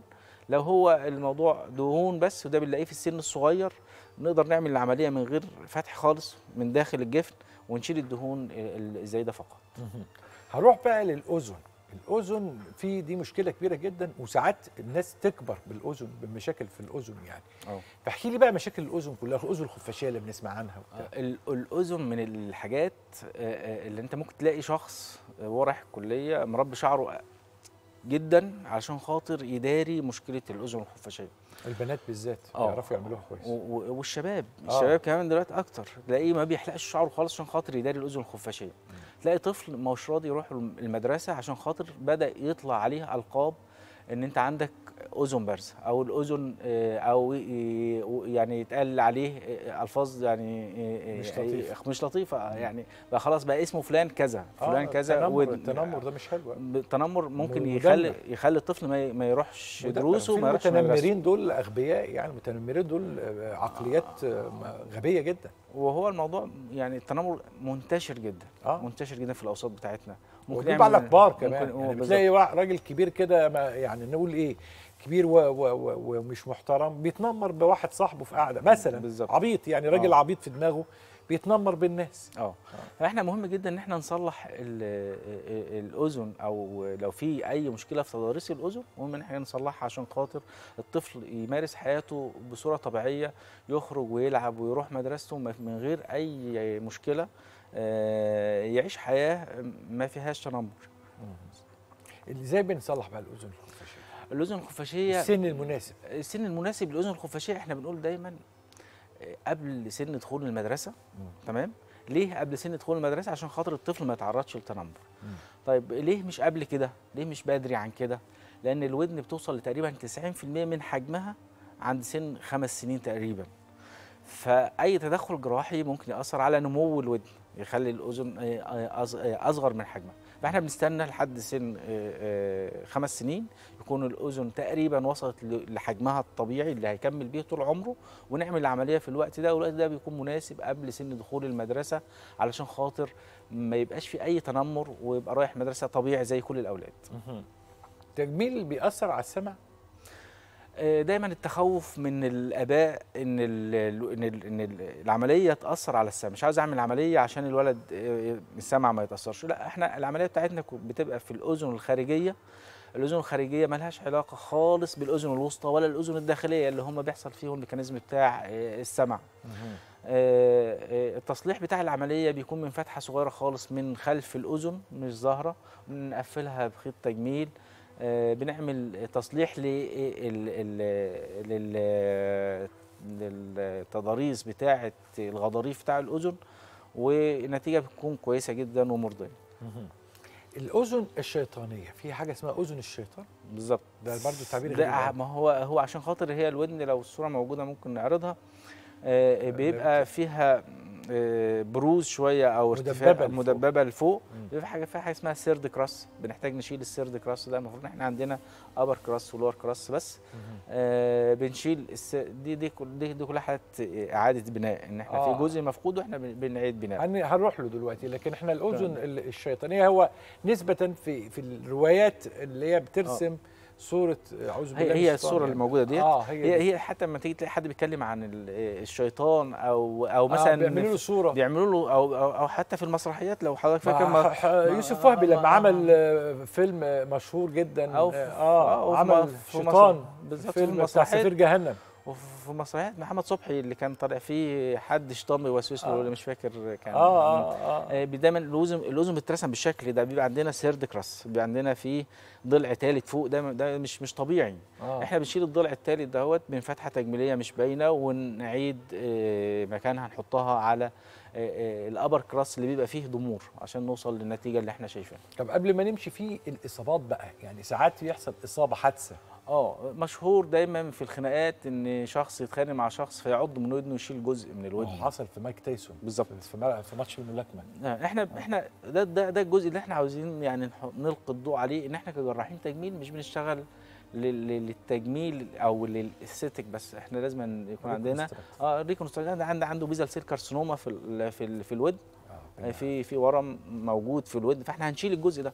آه. فعشان نشيله لازم نعمل إعادة بناء علشان خاطر ما يبقاش وصمة في ودن الشخص. ممكن يكون لابس آه، حاجة أو رابط أو آه، cap أو whatever whatever يعني هو لابس إيه عشان يداري شكل الودن اللي اللي مش موجود.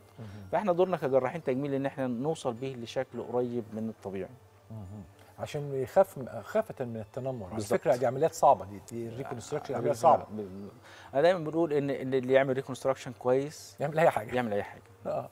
بتجيبوا بتجيبوا من الضلع بقى ولا بتجيبوا لا الحقيقة ديت أنا لسه ناشر الصورة ديت. لسه ناشرها في في ال Annals ENT ده دي مجلة عالمية. آه، آه، في الحالة ديت بناخد جزء من الكونشا أو من صوان الأذن نفسه. ونعمل بيه آه، إعادة بناء للغضروف وبناخد جزء من الجلد عشان خاطر نغطي الغضروف. هي عملية بتنقسم لشقين إن إحنا نعمل إعادة بناء للغضروف وإعادة بناء للجلد اللي بيغطي بيغطي الغضروف نفسه. أنت نورت وأبدعت. وريتنا صور يعني تقول إنه التجميل في نقاط فارقة في حياة الإنسان فارقة. تجميل الجفون اللي إحنا شفناه ده إعادة آه، آه، آه، شكل الإنسان للشكل اللي ربنا خلقه. لا ده بقى كلام مهم جدا. ربنا سبحانه وتعالى خلق المرض وخلق ده من ضمن ال ال ال ال النعم بتاعت ربنا ربنا رزقنا جراحة تجميل تعيد المشاكل عشان يبقى الإنسان واقف جنب أخوه الإنسان. بس الإنسان في المره دي جراح جراح بيظبط مشكلة قد تودي بعين إنسان أو تؤثر على آه، آه، إنه شكله خلاص يكتئب يتحول إلى إنسان منعزل والإنسان المنعزل ده خطر جدا جدا. ممكن يتحول بعد كده الانعزاليه بتاعته إلى إنه يكون لا قدر الله ضد المجتمع وده خطر. ضيفي العزيز واحد من نجوم عالم جراحة التجميل الأستاذ الدكتور شريف حمودة المدرس والاستشاري لجراحات التجميل وتنسيق القوام بكلية الطب جامعة الأزهر وصاحب دكتوراه جراحات تقويم وتنسيق القوام عضو الجمعية المصرية لجراحات التجميل وصاحب شهادة منظمة الاي أو لجراحات الوجه والفكين نورت وأبدعت وشرفتني وسعيد جدا كالعادة بهذه الزيارة الممتعة. نورت وأبدعت بجد. هنتظرك. بقى في اللي جاي بقى آه، في أكيد. القصص المثيرة. أكيد. وعايز أختم برضه بحاجة مهمة جدا كل التحية لقسم جراحة التجميل بكلية الطب جامعة الأزهر. هذا القسم المتفرد البارع المتميز بجد واللي فيه أفراد بيصلوا في علمهم إلى درجة آه، آه، كافية يعني رائعة جدا من الأداء العلمي. نورت يا دكتور. خليكم دايما معنا سهل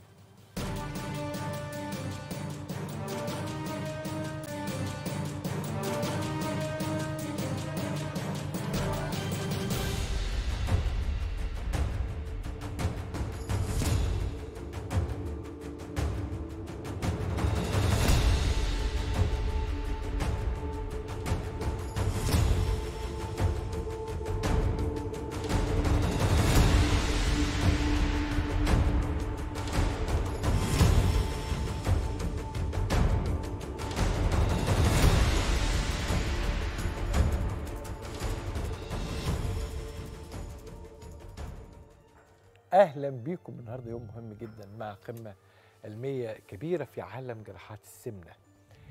خليني أقول لكم جملة مخيفة. تكلفة البدانة طبقا لدراسات مهمة جدا. تفوق تكلفة الحروب. تكلفة الحروب اللي هي التكلفة ب- مش عارف بالتريليونات كده ح- أرقام تكلفة المد... الم... طبقا لمعهد ماكنزي الدولي قالت ال- تكلفة العالم في البدانة بيتكلف واحد ثلاثة من عشرة. شوف الرقم. تريليون جنيه استرليني هو حمل كبير جدا جدا جدا على الاقتصاد لدرجة أنه رقم واحد في التكلفة الاقتصادية على مستوى العالم. يفوق الحروب. تعالوا نقرب من هذا العالم المثير عالم البدانة مع واحد من نجوم عالم. جراحات السمنة الاسم القدير والذي يمتعنا دائما بحوار علمي راقي للغاية. ضيفي العزيز الأستاذ الدكتور كريم صبري أستاذ جراحات السمنة والمناظير بكلية الطب جامعة عين شمس والمدير لوحدة جراحات السمنة بمستشفى وادي النيل العريقة زميل كلية الجراحين الملكية الإنجليزية وعضو كلية الجراحين الأمريكية وصاحب أعلى تصنيف جودة دولي في جراحات السمنة ال SRC نورت يا دكتور كريم سعيد جدا بهذه الزيارة أنا عايز أقول لحاجة مهمة قوي. هي ما يسمى بإعادة جراحات السمنة إعادة أو عمليات السمنة التي تحتاج إلى إصلاح. ما ماذا تعني كلمة جراحة سمنه تحتاج إلى إصلاح؟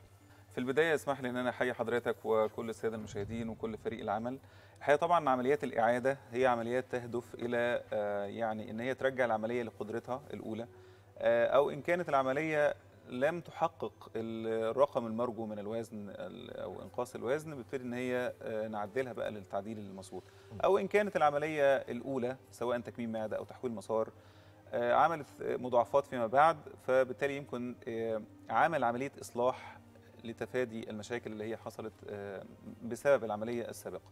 ففي يعني حاجات كتيرة ممكن تتعمل. يمكن تعديل عملية التكميم إلى عملية تحويل مسار معده مصغر. عملية تحويل مسار معدة كلاسيكي يمكن تعديل عملية تحويل المسار وإرجاعها للوضع الطبيعي بتاع المعدة ممكن نلغيها خالص.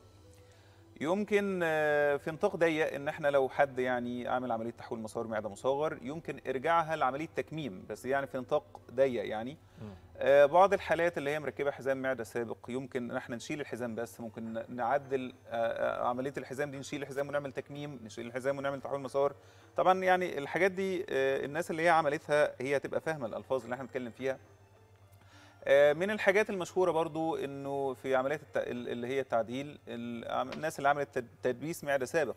تدبيس معدة سابق كانت عملية بتعمل بالفتح الجراحي. آه، بيتم تدبيس المعدة بدبوس واحد وبعد كده العيان بيقعد يرجع بقى بعدها طول الوقت وبالتالي يمكن إلغائها خالص ونرجع لوضعنا الطبيعي أو يمكن تحويل آه، عملية التدبيس إلى تحويل مسار معدة كلاسيكي في 99% من الناس بيحتاجوا لده أو إن إحنا آه، نحولها لتحويل مسار معدة مصغر.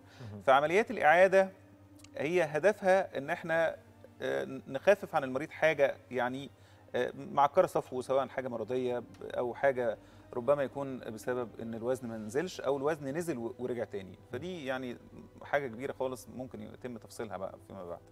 هبدأ الأول بالتكميم. قد تفشل عملية التكميم وتحتاج إلى إصلاح.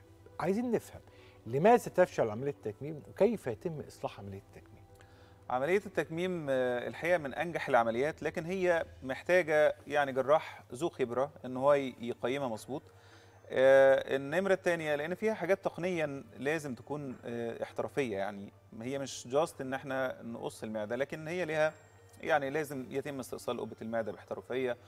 ال- حتى ال- الأنترم أو نهاية المعدة لابد يعني من حسبة آه، المسافة اللي إحنا هنقص عليها. يعني لا يتم استئصال الأنترم كامل أو نهاية ال- المعدة لا يتم استئصاله كامل بحيث المعدة ما يحصلهاش شلل من فوق ويبتدي الإنسان يرجع منها ومبقاش عارف ال- السبب لأن هي أنترال بامب. يعني هي دي مخ المعدة في نهاية المعدة في جسم اللي هو الأنترم. وما ينفعش إن إحنا برضو ان نسيبها كلها تبقى عاملة زي المعدة عاملة زي القبة اللي هي ضيقه من فوق وتحت زي زي يعني زي باج واسعة من تحت تخزن أكل كتير وبالتالي العين يزيد تاني. آه، الاحترافية في قصة المعدة بحيث ما يبقاش فيها التواء ما فيهاش ضيق ما دي من أسباب الفشل برضو إن أنت تسيب معدة ضيقة بزيادة أو معدة ملوية بزيادة وبالتالي العين يقعد يرجع مدى حياته مش هيست... يعني طبعا مش هيشوف يوم كويس يعني.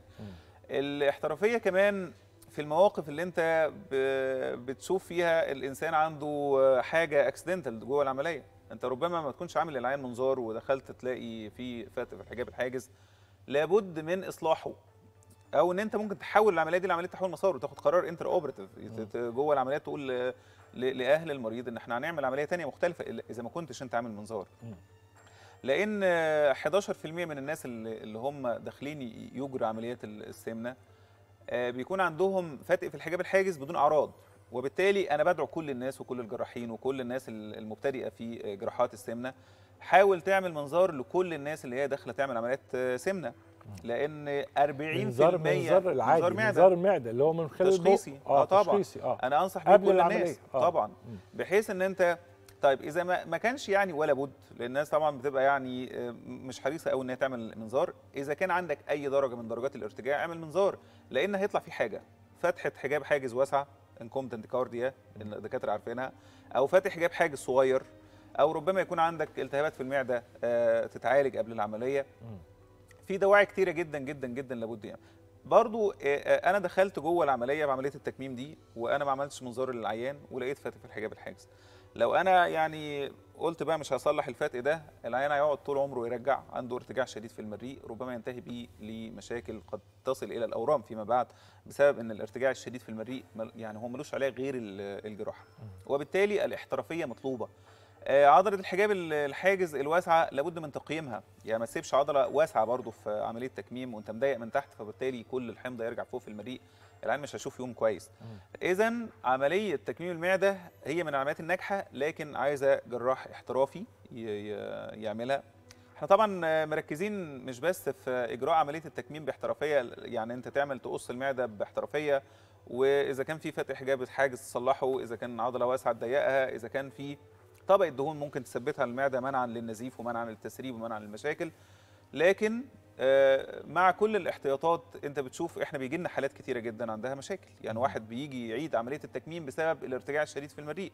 اعمل له أشعة مقطعية أو اعمل منظار بتلاقي عنده فتح حجاب حاجز كبير. فده سبب لعمليات ال- الإعادة. مش هيقعد ي... ي... ي...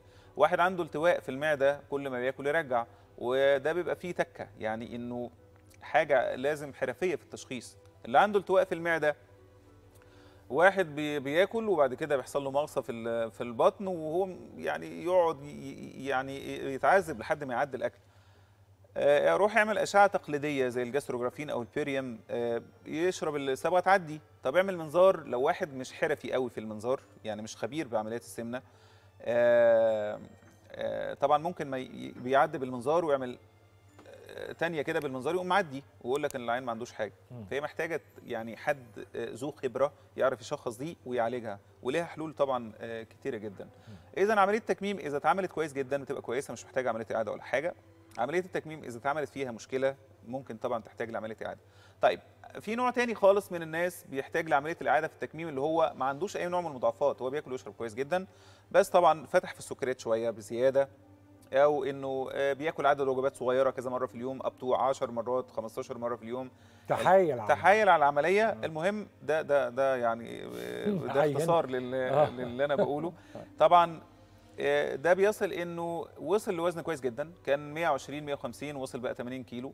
آه، بعد شوية ال 80 دول بقى 81 82 83 ارجع بقى للحاجات. وزن آه، كان كويس جدا ابتدى يزيد. راجع مع ال مع, ال مع ال history كده وقول له إحنا بناكل إيه ونشرب إيه؟ بتاكل تلاقيه 10 مرات 15 مرة في اليوم وجبات صغيرة أو إن هو فتح في السكريات بزيادة. وده ما عندوش أي مضاعفات خالص هو بس just weight regain وزن رجع فقط. فده طبعا آه، يمكن برضو إن إحنا نعمل له عملية تانية تكميلية. آه، ليها أنواع بقى كتيرة ممكن نعيد عملية التكميم نقصها تاني لو كانت واسعة أو ممكن بقى في وجود المضاعفات آه، أو ممكن يتم تحويلها لتحويل مسار معدة كلاسيكي في حالات وتحويل مسار معدة في حالات أو آه، أو يمكن تحويل التكميم إلى تحويل مسار معدة مصغر بهدف إنقاص الوزن بس في عدم وجود المضاعفات. الحاجات دي يمكن زحمة شوية لكن الناس اللي هي عملت العمليات دي أكيد عارفة يعني اللي إحنا بنحكي أو نتكلم فيه. طيب المحطة الثانية أو على الجانب الآخر عملية تحويل المساري الناس عندها فكرة ثابتة إنه أنا هعمل عملية تحويل مسار خلاص ده دي العملية الج... أنتوا بتقولوا عليها ال golden standard standard الحجر أو الركن الذهبي للعمليات. مفيش بعديها مشكلة. مش هقدر أتحايل عليها لأنها عملية رس- يعني شديدة وقوية. هتسيطر على طب هحتاج أعيدها ليه؟ ليه الإصلاح؟ احكي لي بقى.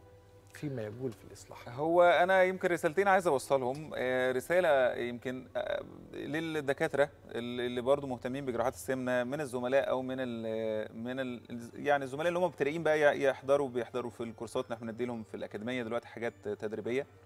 وللمرضى اللي بيجوا طبعا في العيادات بتاعتنا وفي المراكز بتاعتنا إحنا بنقول لهم حاجة إن إحنا مش مش بنركب كمبيوتر في البطن. والكلمة دي أنا بقولها لكل الناس.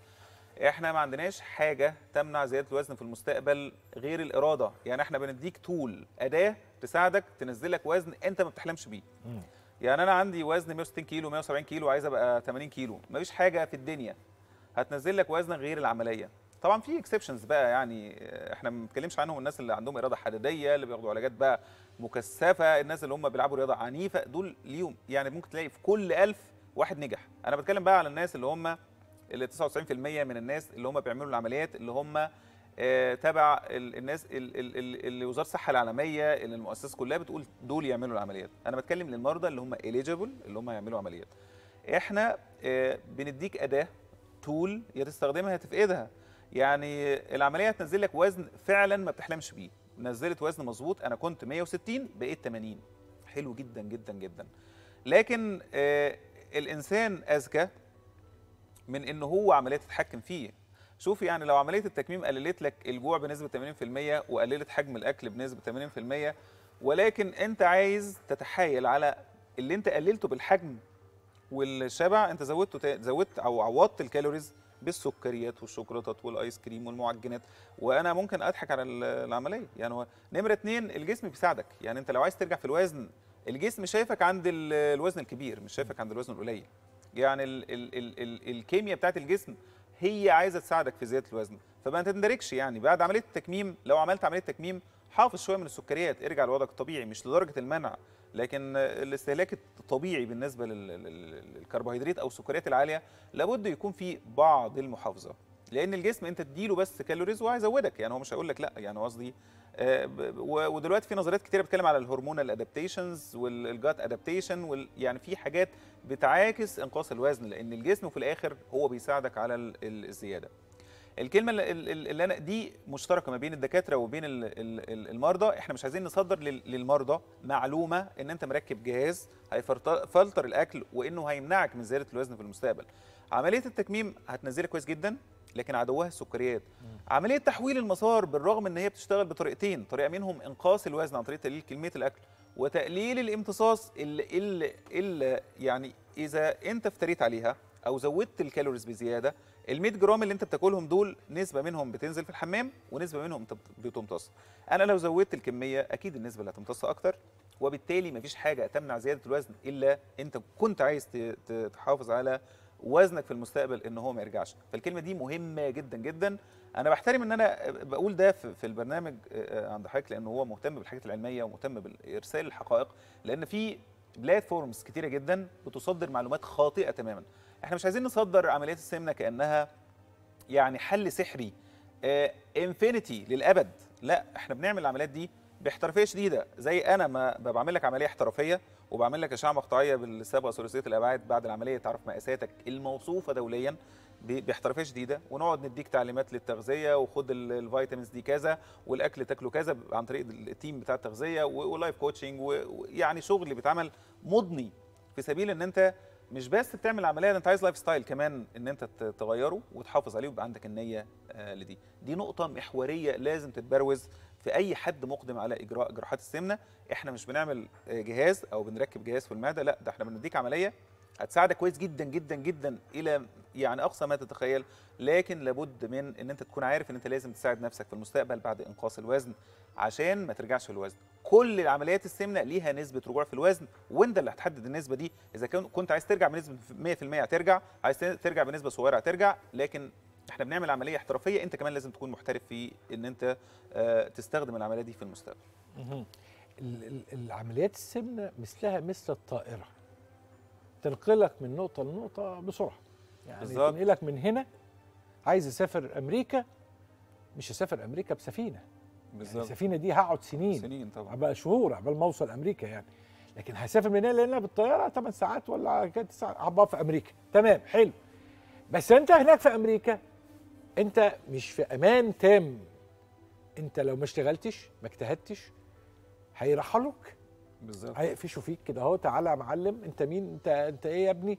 أنا ما بشتغلش. أنا ما بشتغلش. آه لو سرقت بتاع هتحط في سجن. عملت حركة نصبت هتحط في سجن. فهي بالظبط. هي طيارة تنقلك من نقطة لنقطة وسيلة انتقال. محافظتك على مكانك الجديد أو وظيفتك الجديدة. زي بالظبط مثلا أجيب انسان أقول له تعالى يا عم أنا هرقيك وانقل لك في بالمصعد اهو بدل ما انت بتشتغل في الدور الاولاني اطلعك تشتغل في الدور العاشر خلاص بقيت في المديرين.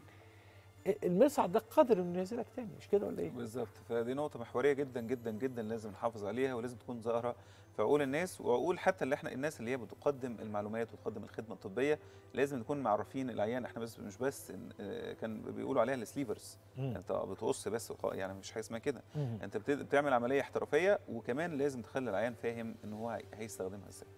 استخدمتها يوزت أو لوزت. يعني يا تستخدمها تفقدها يعني رسالتك التي تود أن تتركها للناس الذين عانوا من إجراء عملية وفشلت. طبعا كل العمليات السمنة يمكن إصلاحها. يعني كل عمليات السمنة يمكن إصلاحها. إذا كان عندك أي ارتجاع في المريء مزمن بعد عملية السمنة ليك إصلاح. لأن غالبا هيبقى عندك فتح حجاب حاجز أو عندك ضيق في المعدة أو عندك التواء. الناس اللي عندهم ارتجاع مراري بعد عملية تحويل مسار المعدة المصغر ليك حل. ما تقعدش تشتكي من ده على طول لأن ده مضر وممكن يعمل لك اختناق بالليل. الناس بتزرق بالليل من كتر ال- الحاجات دي. لأن طبعا أحيانا أنا بشوف عمليات كتيرة جدا في عمليات الإعادة تحويل المسار المصغر بيتعمل مش ده اللي تحويل مسار المعدة المصغر. أنت عايز لونج ونارو باوتش طويل عشان العصارة المراريه ما ترجعش فوق. بتلاقي العملية بعد الإشعة المقطعية وتلاقي في العمليات 3 سم 4 سم مش دي بتاعت عملية تحويل مسار المعدة المصغر. فبتقعد أنت عايز ترجع العملية لأصلها أو ت... ت... يا إما تلغيها خالص أو تحولها لتحويل مسار المعدة الكلاسيكي. عملية تحويل مسار المعدة الكلاسيكي مش infinity لو فيها مشاكل فيها ارتجاع فيها إعادة وزن ليها إعادة. الناس اللي مركبة حزام ما جابش أي نتيجة أو زاد في الوزن ليك إعادة. الناس اللي عملت تدبيس معدة متدبسة فيه الناس دول ليهم حل. ما تقعدش ترجع مدى الحياة. ما تعتبرش إن الترجيع جزء من العملية. افحص نفسك قيم وضعك أنت ليك حل وليك علاج.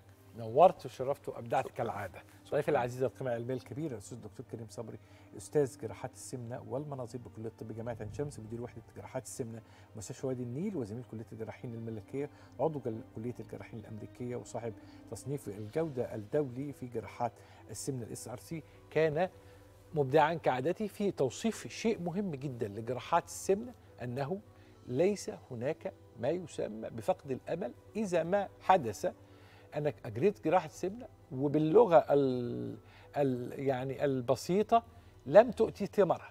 فشلت جراحه سمنه أو أجريت إجراء معين آه، بدأ يتلغي أو بدأ يتوارى في الطب زي الرنج وزي تدبيس المعدة القديم. أنت ما تدبستش في تدبيس المعدة القديم. أنت ممكن جدا آه، بالحل الاحترافي نقدر نظبط الأمور. لكن ليست جراحات السمنة وده حقيقة علمية. هي عصا آه، آه، يعني الساحر. لا هي مش عصا ساحر. هي وسيلة ينبغي أن تفهم قدراتها وتحترم هذه القدرات. عشان هي نفسها كمان تكون مخلصة ليك لازم أنت تخلص لها. خليك مع الناس الحلوه